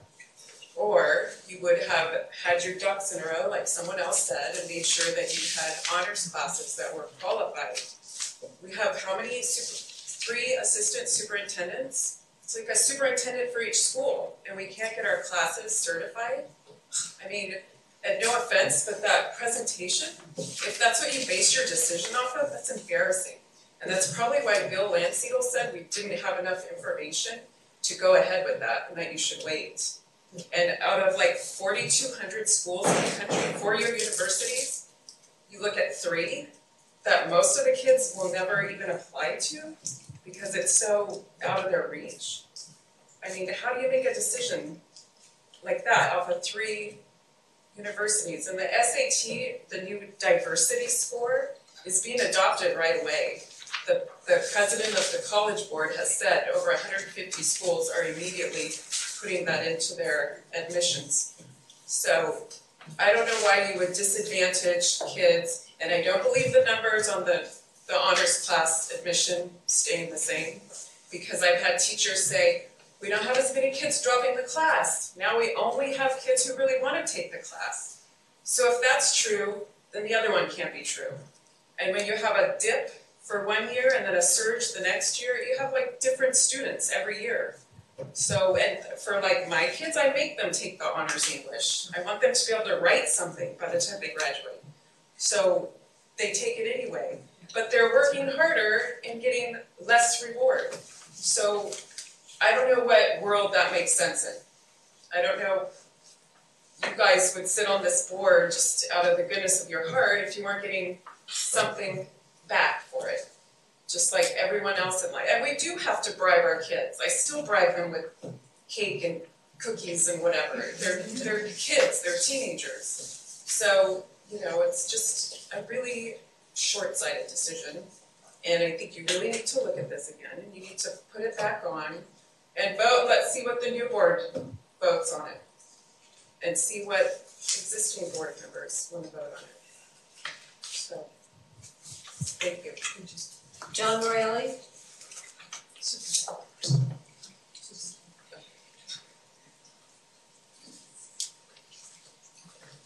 So obviously, I, I usually don't even get involved with this stuff because I have a business to run and it's not really time efficient to sit around every night, because that's kind of your guys' job, what you do, you're the board. Um, and I'm not gonna cite any of the statistics or look at that, because I, I really feel like the, the presentation, if, like, again, what my wife said, if that's what it was based on, I don't, I don't think that's cool, but I really wanna point to one thing that I think is most important. And that is that you've had such pushback on this. And yet, and if, you guys don't have to write any of this down, because I don't really care if you can, because like, you could look up Jason, Laura, please, I would appreciate if you would pay attention when people are speaking, because I know you sit there and write your notes, and you're not looking at people, but there's, there's human beings standing here. People who are really upset about what's going, on. I know, I'm talking to the board and you though, you're here.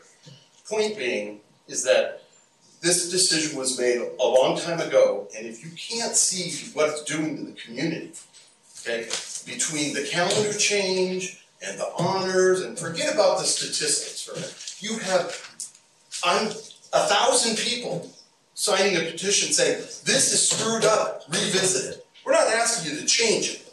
We're asking you to revisit it and look at it and say, maybe we are human too. Maybe, maybe we could have made a mistake. And right now, what it feels like is everybody's just like, okay, we'll let them speak their piece and we're gonna do what we're gonna do anyway. That's what it feels like, and that's what the, the community feels so frustrated. come in here every Tuesday night when you guys are here and try to get you to even listen. But the point being is that this needs to be revisited. This needs to be put on the agenda. You need to hear new evidence, if that's what we're calling it, and not just reports that are generated that fit the narrative. Okay, I really feel like everything I see, it just it just goes right, you know, and I'll tell you, I, I see presentations all day, every day, for every kind of company trying to sell us things and do things, okay? We take it all with a pound of salt. Okay, so when we come in here, don't expect we're just gonna go, oh, that looks great. Three schools, I, I look at that and go, really, I don't even want my kids to go to any of those schools, honestly. No offense to anybody who's Stanford or wherever, but there's plenty of schools, if there's eight hundred or thousand schools that are looking at weighted GPAs, what? I, I don't get it, I just don't get it, there's, to me, there's no logic in it, it needs to be revisited, it's two thousand nineteen, it's been three years, maybe things have changed since that report came out, or since the data that was collected and the decisions that were made happened, and I think it just needs to be revisited. Thank you. Doug Nottage?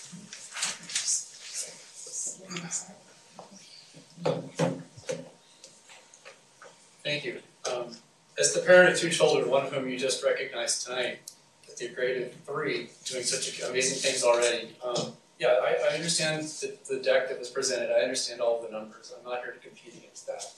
I'm here to ask a real real question. When you're looking at these children that are asking for our help, why are we not giving it to them? This costs us nothing. It's not a board request. It's not a lawsuit. It's nothing but difficulty to this board. It's something that these children are asking for, and there really isn't any reason not to. If you look at the statistics that are on here, if you want to go into all of that, there's nothing that penalizes them against the UCs. If that's where they go, terrific. My family's been great benefits of that system. But I think that my son and others can go well beyond that. They're in a game that is a world-class game. This is the Olympics of education. It is getting more difficult. I'm hiring more and more people from all around the world to do the things that we want to do and pay the highest dollars. If these kids want to do that, if they want to be a part of that, and they want to lead Laguna into the future, we need to offer them what they're asking. I don't see anything in the numbers that I've been testing, I don't see anything else in that. I understand there are some that will, and I respect that. I am simply asking, if this is what the kids are asking us for, if it costs us nothing to go to honor that, if it makes them better, if it gets them that Olympic-sized small little difference between whether they get into somewhere or not, great. If we go with the numbers here that said tonight, that only fifteen percent that got in and about forty percent that applied, the other twenty-five percent went somewhere else. Why did we give them a disadvantage at wherever else they wanted to go? Or did they, they didn't get into that UC system, they probably went somewhere else, these kids started going somewhere. So I ask you to, to look at this carefully and to think about these kids, the ones that are going to do this, and they're gonna do it despite whatever decision we make tonight. Most of them are that wanna win and want to compete in that are going to do it. Don't we wanna support them? Don't we want them to see us and say, they did it for me tonight? There's nothing that they're asking other than their chance. Please do it. Catherine Tran Richardson?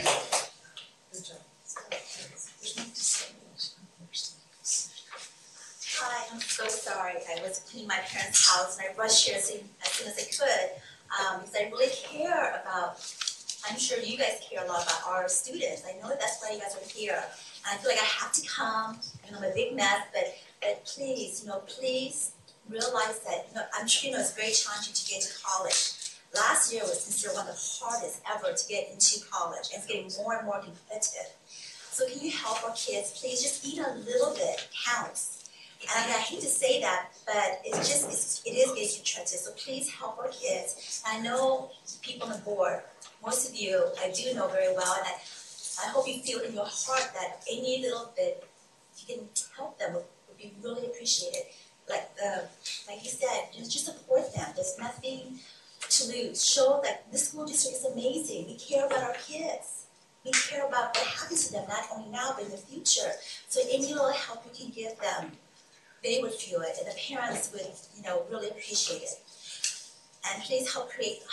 My son was saying that, you know, there's no justice in this world. It's ridiculous. I take this honors class, but for me, our family, we encourage our kids you know, to take the most rigorous class as possible.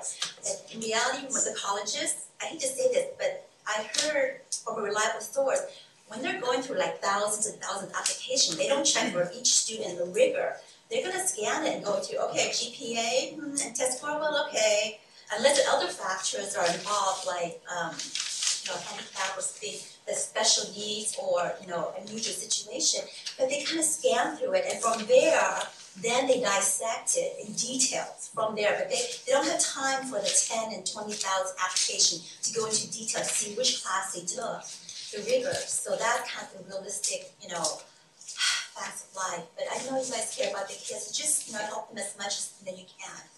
Okay, that's it, thank you. Sherry Morgan?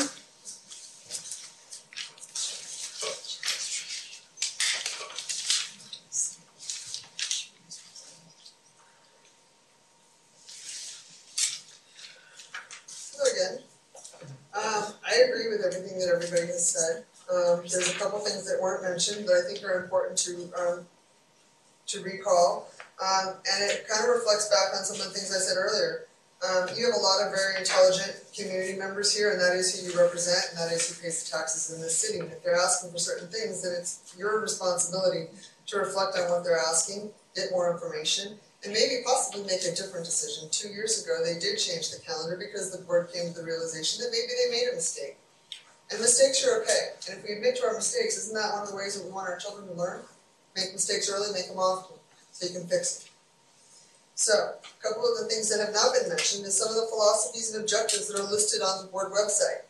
Um, for example, number three, every student in the district has a right to be free from discrimination, harassment, intimidation. Well, we're talking about the students, I'm thinking, but isn't this the same thing?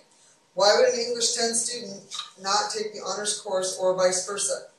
If one of the biggest running jokes in the school, if you ask the students anonymously, is, well, yeah, I'm not getting a 4.0 because I'm not taking honors. I'm actually getting a 3.7, but I'm taking honors and it's not weighted, so therefore my rank is lower than somebody's rank who's not taking honors. It's a fact.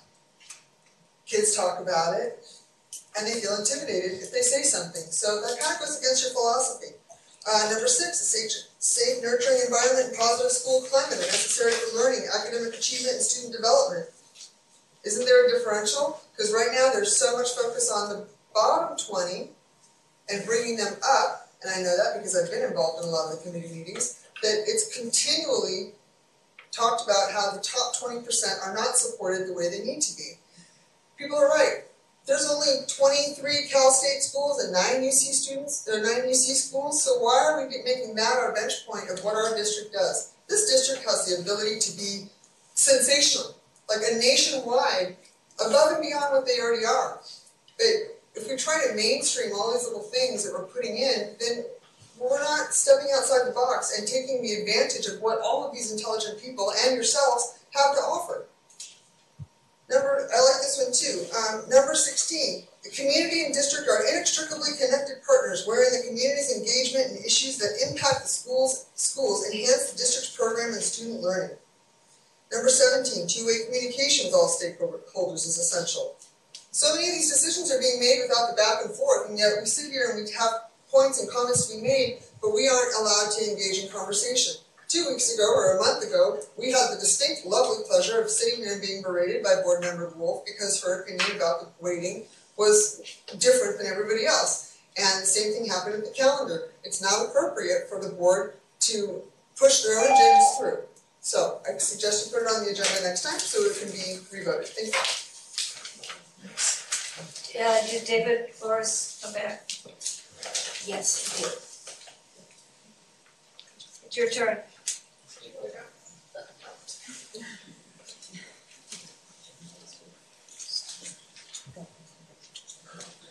My son is uh, taking MUN and uh, he has to eat, so I have to go over and get him some food. Class doesn't end until nine. Um, I think uh, I missed most of what everybody has said already. Uh, I think you get the gist of the concern from parents that our kids are not given a level playing field with kids from surrounding districts. And I know you think that you had an academic task force that went ahead and studied this. Well, they didn't do a good job, to be very honest with you. And it's not a criticism, they just did not. I did a lot of research. I sent the research to the superintendent, uh, pointing out how many school districts um, are doing what we're asking you to do. And all of the surrounding school districts are doing that. Uh, one of my uh, mentees is currently the superintendent of uh, San Diego County Office of Education. I have a number of folks that are very high-ranking superintendents and so forth that I mentor. This particular gentleman, when uh, I had a conversation with him about what this board has done, his response is, why would a board do something like that to kids? And why would a superintendent allow that board to do that? That is just plain wrong, and I am quoting him. Now, he supervises all the superintendents technically in San Diego County, uh, uh, for the San Diego area. Very knowledgeable, great guy, and, uh, you might wanna give him a call and ask him his opinion of what you are doing to our children. Thank you. Is there any other public comment from anyone who did not submit a card? Those are all the comments on the cards that were submitted. And that will end the public comment on this item and I'll allow for board discussion. We didn't, we don't have a motion on that. That's my question, direction request. Dee asked if she could ask didn't- questions We didn't ask, get to ask questions. after the presentation. Because of the information. Now we get to- We can ask them now. Do you want questions or comments or what? Oh, because it's information on Okay. Um, question, um, thanks for your presentation. I, I wondered, since so many of our students do go out of state, why no out-of-state schools were contacted? At the time, I, I selected three of the students, uh, three of the colleges and universities that, um, students have reported high interest in, and I reached out to them. Should the board direct, I can, I can search for outside state. Um, I also wonder, so looking at the reasons for what was done before, one was to encourage students par- to participate in rigorous pathways. How, how did unweighting help them to encourage them to go on, to participate in rigorous pathways? Right. It offered them a level, level playing field, so for example, with foreign language, uh, it didn't pit one particular world language against the other. It also, it also offered the students the opportunity to follow their passion. Um, could you explain that a little bit more about following their passion, how unweighting helped them? Sure, so if you were a student that took French, for example, Okay, but let's skip the foreign language. Okay, so just rigorous courses. So our students have the opportunity to take, uh, we have multiple honors and AP graded courses. Students have the opportunity to take a course that it appeals to them, that, that we offer multiple opportunities. And, and in addition to that, we also want to align to the UC, so when they approve the course, that's what's weighted. So you. So you you think that if a course is not weighted, then students will be more likely to take an honors course that isn't weighted? No, I'm, no. So at the time, um, my predecessor, that was a part of the goal, right? That it allowed all students to take um, multiple honors weighted courses. It did unweight courses that the UC system did not indicate were weighted. So example, nine honors isn't weighted for Mhm. UC. At the time, ten honors was not weighted as well. And many of our neighbors also unweighted ten honors at that same time. So, it allowed students the opportunity, for example, for English nine and ten, to do the prerequisite courses that prepared them for AP, as some of our speakers have talked about. We, we, when we studied our students that took honors nine and ten in English, they were well prepared for the, for AP Lit and AP Lang, we looked at, we did a deep study of cohort stability, and we saw that students that took English nine, English ten did very well in AP Lit and AP Lang. So for, so to answer your question, um, it offered students the opportunities to, to do, to be well prepared to take honors eight and AP weighted courses. But it was all that prerequisite work. So if they take regular honors, English nine and English ten, they were well prepared for the AP course? Nine honors and Oh, ten nine honors Yes. and nine, So we and did, how did weighting it make them, how did that change it? If they, How did if, unweighted? if nine was unweighted, if honors nine was unweighted, how did that make it more likely or rigorous for them to take that? It did. I, I'm not, I'm not understanding how unweighting honors English nine helped the students. I don't, that's right, it's. we weren't here for, the- so Right, yeah. part of the challenge we have is passing uh judgment on the committee work, cause I wasn't here when it happened, nor was um uh, Dr. Debo. So we're simply trying, we simply use the presentation that was provided to us and the documentation that we've had. But I I can't answer some of them, in with Dr. Debo, some of the questions related to the understanding of the committee, cause we weren't part of that. So uh, to the best of our ability, we we simply tried to respond to the questions that came from the board at the last meeting.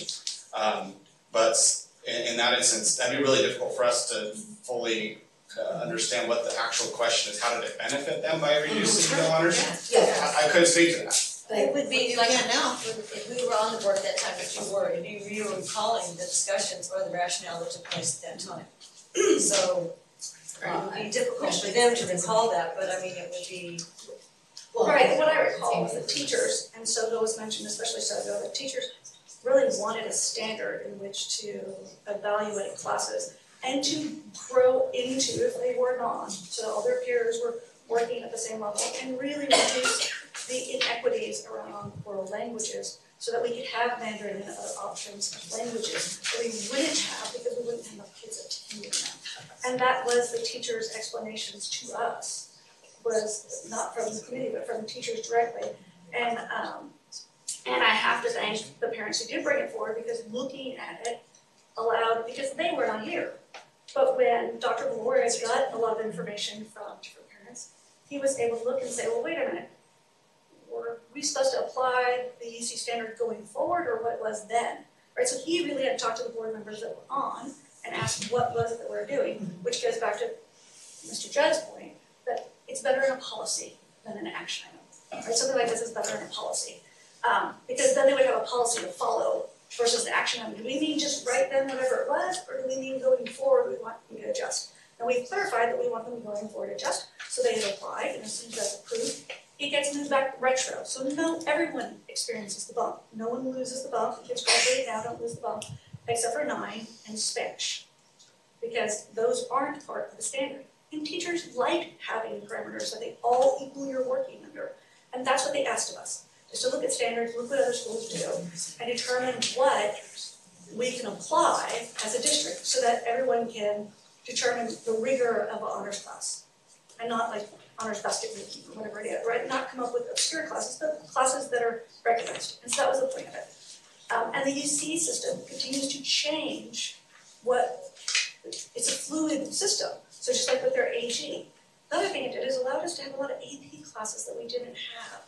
They created a, I think a belief in the teachers, from what I heard from various teachers, that the kids are actually in their classroom because they want to learn this, which inspires them. Not because their parents told them they had to take it because it gives them a bump in their, you know, point four, whatever it is. The little increment bump it gives them in their thing. But I have to say, I'm looking at what the grades are for what kids get in honor classes versus what they get in regular classes. I have a junior who's been through this. Hi, glad I didn't know ahead of time because I would have pushed him in honor classes in areas he did not have any passion. Because you're more likely getting an A or B in honors class than you are in a regular class by a substantial percentage. So, um, kids that are in those classes love to learn. They want to master information, and that's why they go to class. And it's not an area they like, like the gentleman who said they had no idea about science, but still go, you know, wrapped their daughter, daughter in and pulled them in. And that got her excited about something her family might not have pushed her to go explore. And so I think the freedom for the teachers, they took it as, these kids really wanna be in my class. And that is important, it's equally important that they want to be there and they want to learn, not that they want to hear it. Because if you, we, we can often be told, don't look at capital, look at capital, don't look at capital, look at capital. I look nationwide. Mostly don't look, the majority of don't ever consider, don't ever compare us to capital, I can't believe you compared us to capital.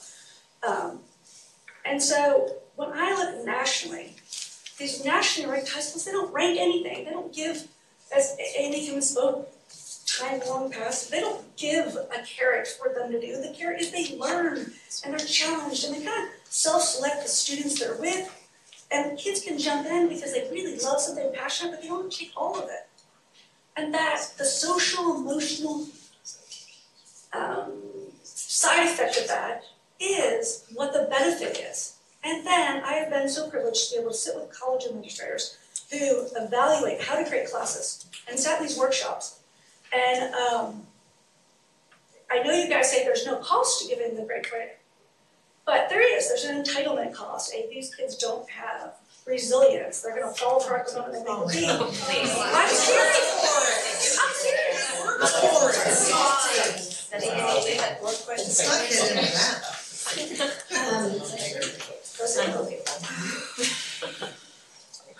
Okay, I, I, I'm still, I'm still questioning why, why we're going by the UC standard. Thank you, Dave. Okay, so I'm gonna address a few things. The UC standard is not created because everyone applies to the UC standard. The UC standard was created because the UC standard is well respected worldwide. No, it's not. Worldwide? Michelle, you are not interrupting me. Excuse you're out of And I- Oh, here we go. Oh, Sherry, I did not berate. I'm stating my opinion. I'm elected to the board I'm stating my opinion. I do want to state that some people in this group have completely overstepped by requesting private information about my children in a public records request and private information about me. I, I support that you have a different opinion than I have, but to disparage me and my children personally is over the line. It's over the line, you guys. I disagree with your position on the policy. The UC standard is well respected. We are meeting it. Before we had no criteria, honors classes could be willy-nilly and not have criteria. We're telling our students in AP US History and AP Euro that that is a valuable college level course. And honors English 9 is not equal to that. We, we know that our school profile matters in admissions to students. I think it needs to be brought up more that every transcript gets the school profile. And that school profile tells admissions, this is what we do. We can disagree on the policy, but I believe this is a sound policy with good criteria. We are applying to retroactively add those two courses that the UC approves, not because everyone applies to the UC, because the standard is a high, well-regarded policy.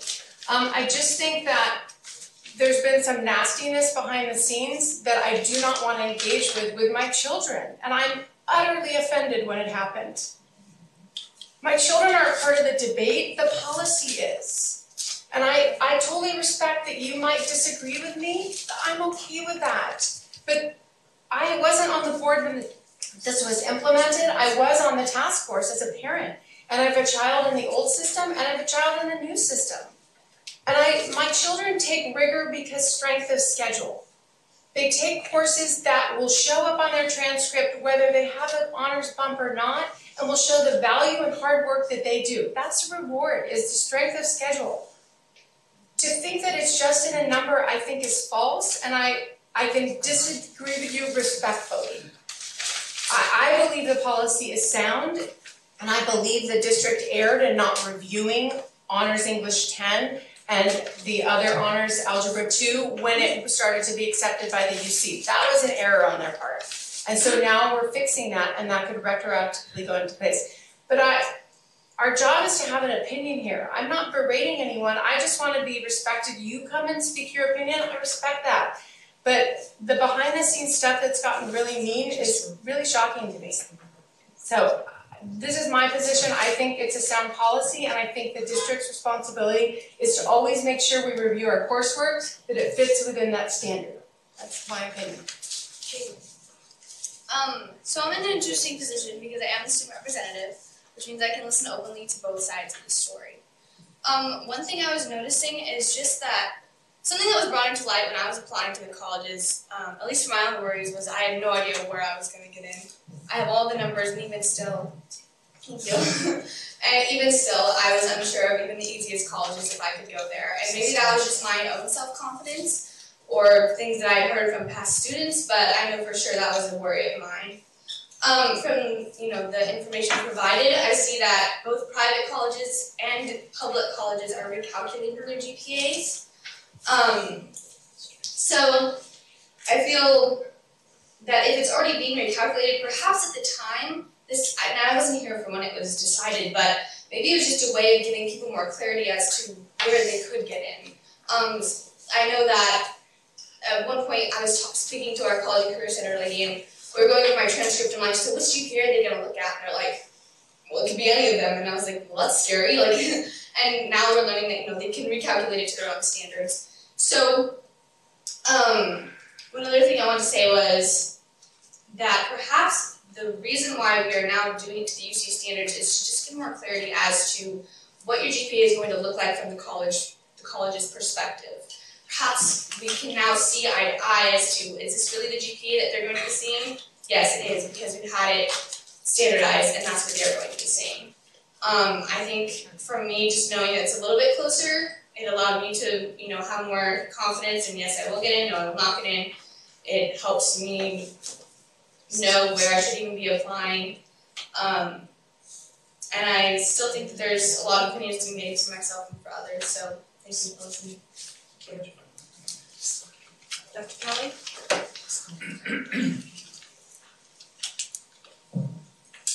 I want to thank you for the presentation and uh, I, as former president of a university and as a provost uh, in, the, in the CSU system, um, and as someone who has spent my whole career uh, in, in the academy, uh, I do know that nearly all colleges recalculate their admissions GPA of students. There may be six to ten that do not, and they do not do it for some unique reasons that have to do with the states that they're in and the number of out-of-state students that they can take in and the number of foreign students that they, they, they can take in.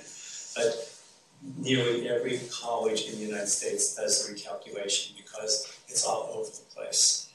I am sticking with the board's decision as far as to um, stick with the policy that was, uh, which was uh, voted on in 2016.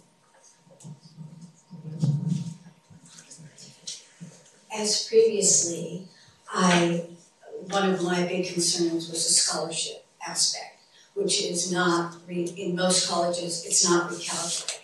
And I think because we have so many students that don't go to UC schools, we are giving them a disadvantage by not weighting their grades for scholarships. Um, many of our students, you know, they don't try for those, those top two hundred schools, and a scholarship makes a huge difference for them. I think we need to look at that. I also think, because there are so many, a significant number of the public, our constituents, they're upset about this, that it should be brought back as an action item. Um, I think it should be looked at, both sides. We do have new information now on what's happening. And I think it's really important to bring it back. Regarding scholarships, I just had one follow-up. There's a decreasing number of high school students available to colleges to recruit to admit. And because of that, uh, excluding those 100, 150 exclusives, uh, these, the scholarship deals uh, are, are there on the table for you to get. And they, uh, they will recalculate, they will do anything they can to get you to sign uh, the, on the dotted line to come to this large number of colleges who, a number of them are on their way to extinction because of declining student populations. It's easier to get into college today than it ever was because of supply and demand. The ones that, the Harvards, the Yales, you're gonna have a hard time if you have all A's and uh, outstanding scores. It's, it's just, it's just the way that it is. But, but the scholarship money, it's there and you can be competitive as far as with, with dealing with the admissions offices. I don't know how many of you have had admissions officers calling you every day, every week, trying to get your children to sign on the dotted line. The competition is there. Well, I know in certain states, they take the weighted GPA and as what they're looking at, and if you're, you don't have as many, much weight in your GPA, they're gonna look at that. Also, um, that by not, when students often apply at the beginning of their senior year for college, they don't have their senior GPA, so they're looking at freshmen, sophomore, junior, some don't look at freshmen, I know UC doesn't, but many colleges do. And by not weighting any freshman classes, they also have a lower GPA. Just a point of clarification, we, uh, the only freshman class we don't weight is honors English nine. So this freshman takes um, an AP class, um, or an honors level course, so for example, we do have some freshmen who might be in honors algebra two, they actually get the weight. Um, so AP classes, et cetera, they do, would just, they would get that, so the only one that currently is ninth grade specific would be ninth grade. Well, I one, Spanish two honors, I understand, is, is not a specific ninth grade course, it's, it's, uh, there are students that are in tenth and ninth grade in that class. I know one thing that was mentioned were that there were AP classes that were not available to freshmen. And they wish there was more AP classes available to freshmen.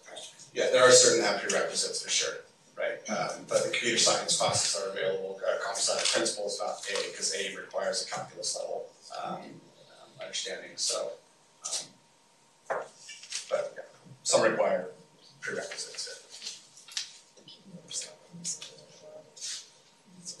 Was what's something else is we didn't have computer science either now, I'm better take computer science because of this change and kind of looking at things. People inspired, and so that's something in ninth grade they can take it, I know there are ninth graders, you know, with twelfth graders and a full mix, and so they can get, they can get that bump in ninth grade. Um, one, one comment, and uh, I would really like to see what policies there are on weighted grades and stuff, because it is I firmly believe that we stand in policy, right, and, um, but yeah, that's what I mean, like, I probably believe we stand in policy, and I don't know in the transition or anything that happened around the same time as but I would just like to, just, in an update, just like to see policies. That'd be helpful. Okay, um, just a little, my Turn on her perspective, mic. my perspective, which I'm sure will not be well received by those of you who have spoke, spoken to us, but reflecting back to when, um, this issue came up before, and of course, the board doesn't make the evaluation of the curriculum at the high school, the rigor of the courses, that's done on, on site. But there was a concern that Laguna was gaining a reputation as a great inflated school. And, and that doesn't go well with admissions officers, when, when you earn that reputation. And there was concern of making it more genuine, and that, uh, and that was part of that discussion, that Peggy probably sit in that task force, as part of the discussion. Prior to that, prior to this issue, there was a time when there were, um, other board members than we have now, where the concern was about the profile. The profile was the focus point, and the fact that our profile needed to reflect the rigor that we offered the students. In fact, we had a task force on academic rigor. And it was to bump that up, not anything to do with, with weighted grades or grade bumps, just the fact that we needed to have more rigorous course offerings at the high school. And that's, that's been a focus for a number of years, and we have, I think, accomplished that to a great degree. Um, obviously, just with the ability to, for freshmen to take AP classes, that did not exist, um, just even a short time ago. So they, for the students who are able to handle that, able to handle the intensity of the work, there is some opportunity for that. Um, that's, I think, to me, was, was the heart of it, thinking back to what I heard other board members, uh, talking about, was the concern that we not, uh, be trapped by grade inflation, that we, be- that we be a school that looked at the rigor and challenging the students to take rigor for what would be a more long range. If you want, I don't, I, I'm not real comfortable with the term reward, but the more long-term outcome. If the long-term outcome is you take the honors class in ninth grade, and then you move into the tenth grade, which we anticipate the, the approval, that would, I'm using English in my, in my mind, you don't know that. Then they move into the honors class in tenth grade, prepares them for the AP classes, which they need that preparation. And so I, I'm hoping that we teach our students that that's what the end reward is. The reward is that they're challenging themselves to get there in one or two more years. And that then they're prepared to do that work. It's because that AP class is going to carry a lot more weight on their transcript than the honors class did. If they take an honors class and, and get a grade bump from it, and then they decide not to take the AP class, I think that's going to be recognized also. They're, they're looking at the individual students' course choices, the rigor of those choices, they're looking at the school profile.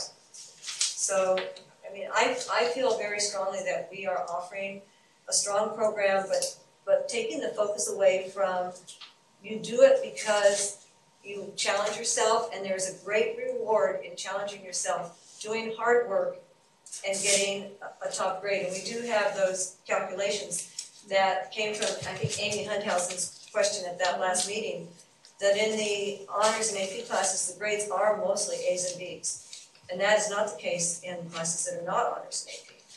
So it's, I think it, I think that balances it out. As I said, I know that's not well received by the comments that were made here tonight. Um, I just have one little other comment that for myself personally, I'm very wary of surveys, particularly on-site surveys, when I look at those, and those are assigned by people who live in other states.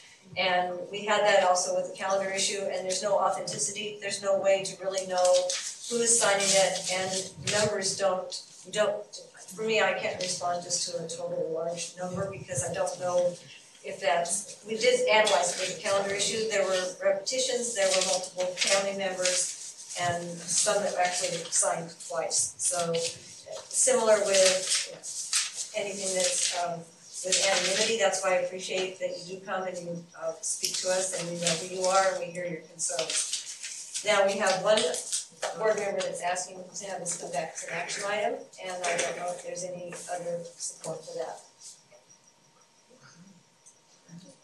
Okay, so there is not um, support for that coming back as an action item. And the other, is a policy question from member Rowland. Okay. Okay, thank you. We'll move on to our action items tonight. The first action item is item fourteen. Mosaic Network Incorporated, Pro Vitality App, California Student Privacy Agreement, and scope of services for the 2019-20 school year at a cost not to exceed eight thousand five hundred and five dollars. Dr. Debo. Thank you, so this is a continuation of our contract with Mosaic. We'll continue with your approval to use them for twelfth grade screeners. Thank you. Any public comment on this item? Or questions? Or just just a question? Yeah, just. Is this the same price as last year? It is. That's it. Motion please? So the, Second. you know, I did have a question. Okay. So when, um, I just, and I meant to ask Dr. Viloria today in our meeting, but, um, what, who reads the contracts and just make sure that they're current, like, who makes sure that they're current with the current laws? Because I know privacy laws continue to change, and I know we keep up with laws and stuff, I just don't know, is it based on where the contract falls, like who it falls under? Or is it, uh, just in general, like, I was trying to understand that in general. So I'll go through the business office. I know I read them, I just, but you know what I mean, like, as law changes, I, I know, I didn't go through them, I just meant, like, from a, an eye of just making, because this was really thorough, and it had a lot of, like, the last one, yeah, the privacy information, I was just wondering, like, who, Preliminarily, a business office, the county office also reviews it. Um, if it's difficult or they see clauses they're not familiar with, they'll have their legal team review it. And then in some cases, you go to an outside attorney to review or develop um, our contracts. That is, thank you.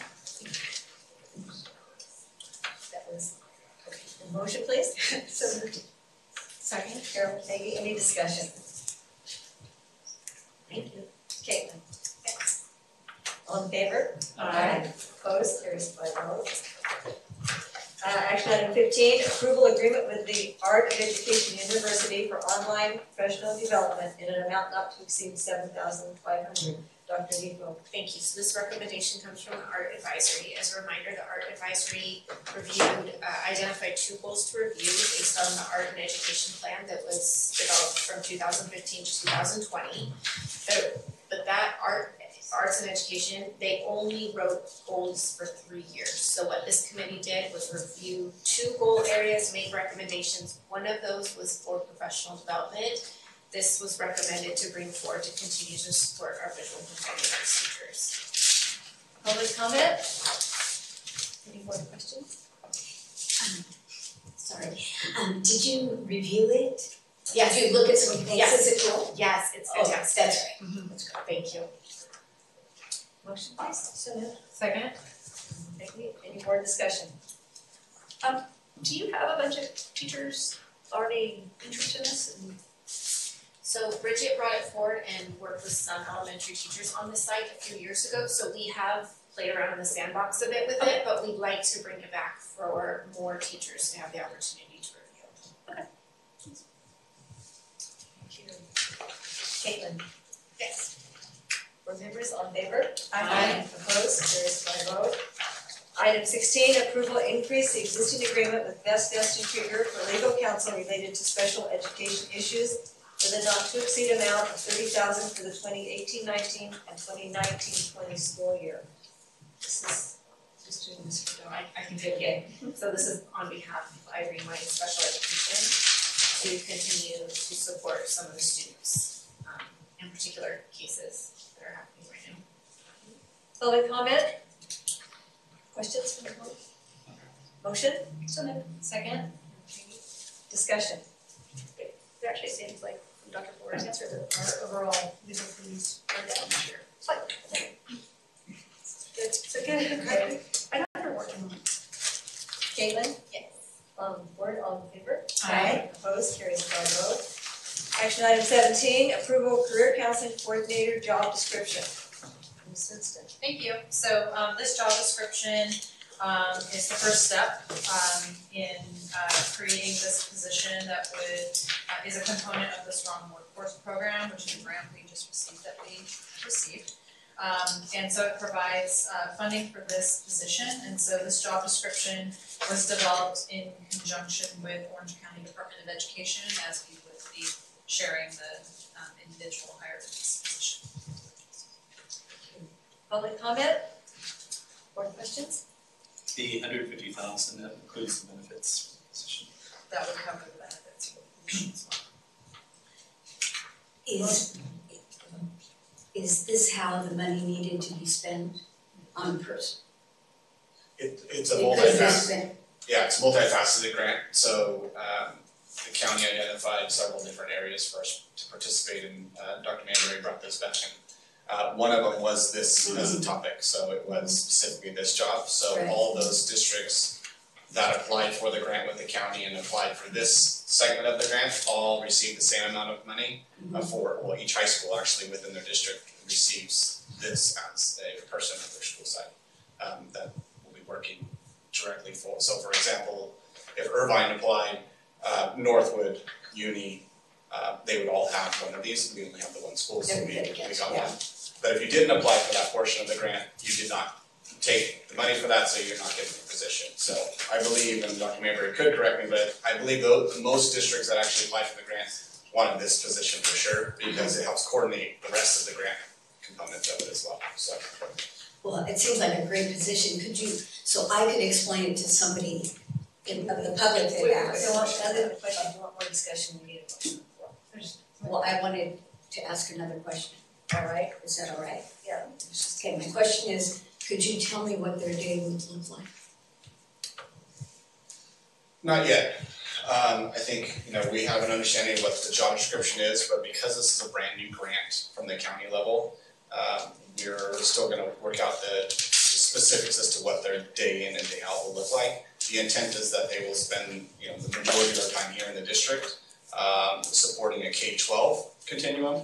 So working with the counselors at the uh, elementary, middle and high, um, as well as our, um, our transition coordinators and, um, our, uh, folks in the College and Career Center identifying opportunities. So they will go out in the county and try to articulate, so we have some students that can go out and do mentor programs. It's really one of the big areas of focus out of this grant. Um, so I think it will evolve a little bit over time because it's, is, because it's the first time out the gate, that it's gonna take some time to get everything up and running.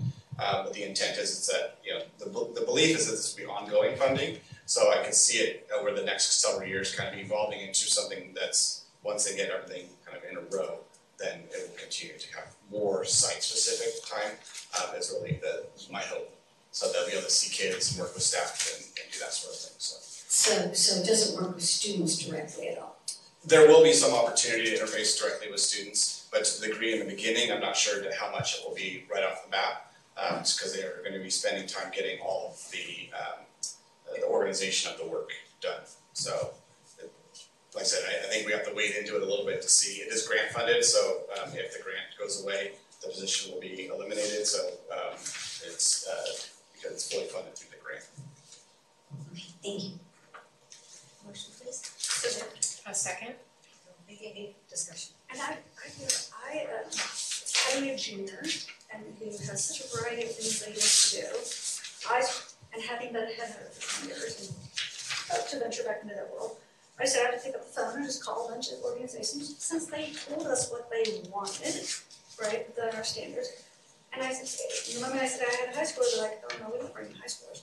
So then I be over here, so I tell him, Dr. Viloria, was, we need something, and he's like, oh, wait till you see the position we're creating, I'm that's perfect, it's perfect, because they need to provide opportunities as well, right? And so many, it's a state level thing, it's not just about my kids, it's about all kids, right? Mm-hmm.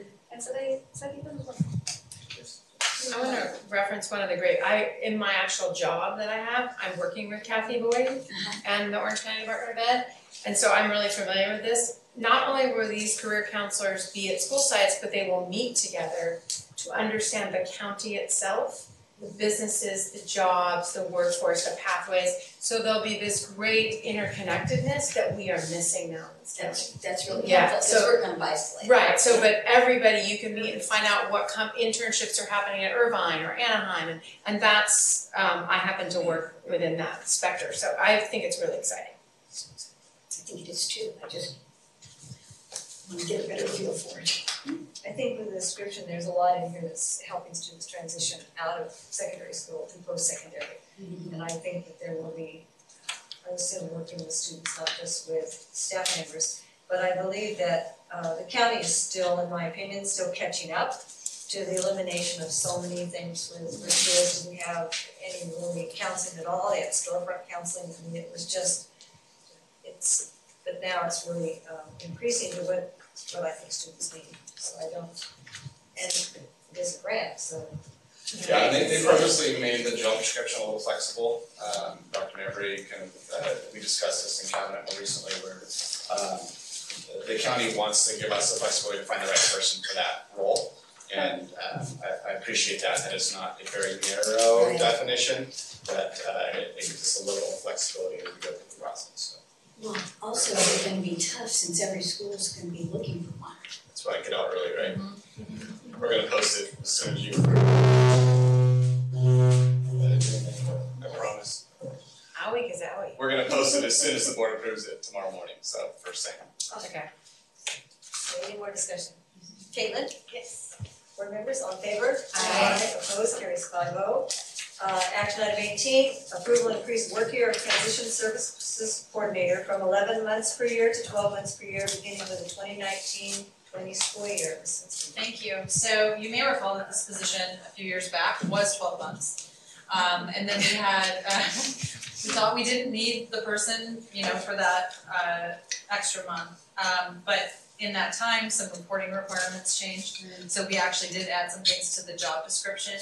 Um, and our grant funding has increased. So with that, we're, um, proposing to increase, uh, this position to twelve months beginning with the next school year. Public comment? Any board questions? Motion please? Second? Carol, Peggy, any board discussion? I appreciate that you always look at it, you took it away, now you have a need, so you're bringing it back. Any other discussion? Caitlin? Yes. Board members? All in favor? Aye. Opposed, carries five oh. Our last uh item, board member requests for items for future meetings, requests for information or general comments. Caitlin? Thank you. Dr. Kelly? I'm hoping that maybe we could take part of a meeting this summer to talk about um futuristic ideas or ways that we can help our um our students um position themselves better, uh that we can position the school district better. Uh seems like we're getting caught in the weeds a lot of times and uh I think there's some really outstanding things that we are capable of doing that could uh compensate for some of the misunderstandings that people have uh and would enhance our students getting admitted to different uh places. You some ideas. Board, on how to format that, that kind of a discussion, goal setting or maybe something, study session? Probably a study session or something like that. I love that idea, Member Kelly. And I was uh, gonna give a compliment to, um, I went to the vocational lunch and I know other staff members did, but this time I sat with community members and I was so impressed with how hard they tried to get our students with special needs more skills. One of the women that's in charge of the thrift store was a former voc ed teacher at Dana Hills High School. So she's really familiar and she'd look at each one and say, you know, I gave them this task and they got good at it right away, so I gave them another one. She's always thinking. Now, this girl here, she can run the cash register. I can get her to do more. Dee, could you ask her if she could come in this summer and get even more skills? Which I did, but she's moving and she can. And then she'd look at someone else and say, I think he has really good organizational skills. I'm gonna work on giving him more skills in that area. So we are just so blessed to have wonderful people in our community that are helping our students. Um, so I wanna say I attended the high school pep rally on last Friday. It was a kick. Um, I brought my husband, it was really great, so I just wanna celebrate how great that event was, celebrating students and how wonderful it was. I also attended the high school PTA meeting last week and Dr. Allemann was there to answer questions about the bell schedule and I thought it was really direct and candid and it clarified a lot, so I appreciate that. Uh, and finally, I just wanna restate my support for posting all our public records online. I think it will help with reducing some of the workload. Um, and I also still continue to hope that all board members do all district business on the district email accounts because that is part of our bylaws. Um, because I think it's really important that we are transparent and we do meet those public records requests um, openly and really faithfully. And then I agree with Peggy, the but the other, the other parts of what we need as board members, uh, our obligations to transparency by working through the, um, working through our board district email. Um, as well as I agree with Jen, like I think that's a great idea to have a futuristic type meeting or a thirty thousand foot level meeting.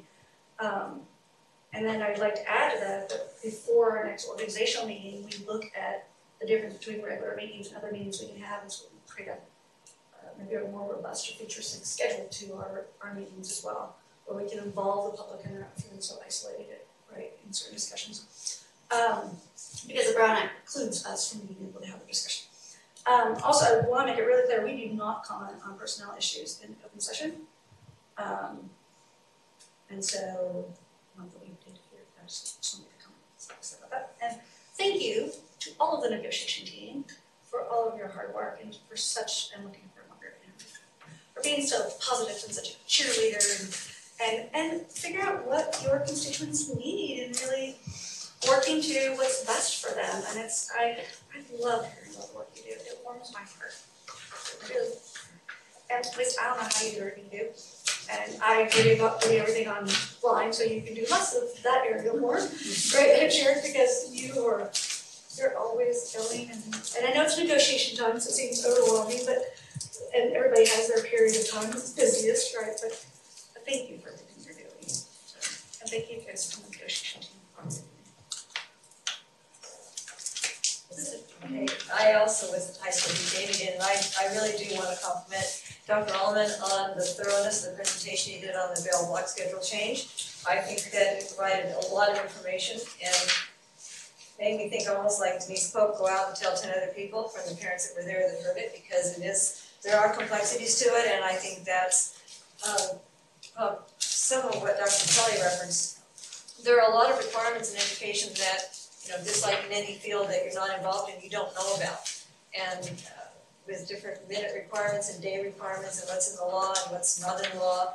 And it's, uh, so it's not, it's certainly not done on a, on a whim. It's done with a lot of background. And again, I think people need to understand what's a site level task, decision, work, and what the board does at, at the level that we are, and we're, we're not at that level.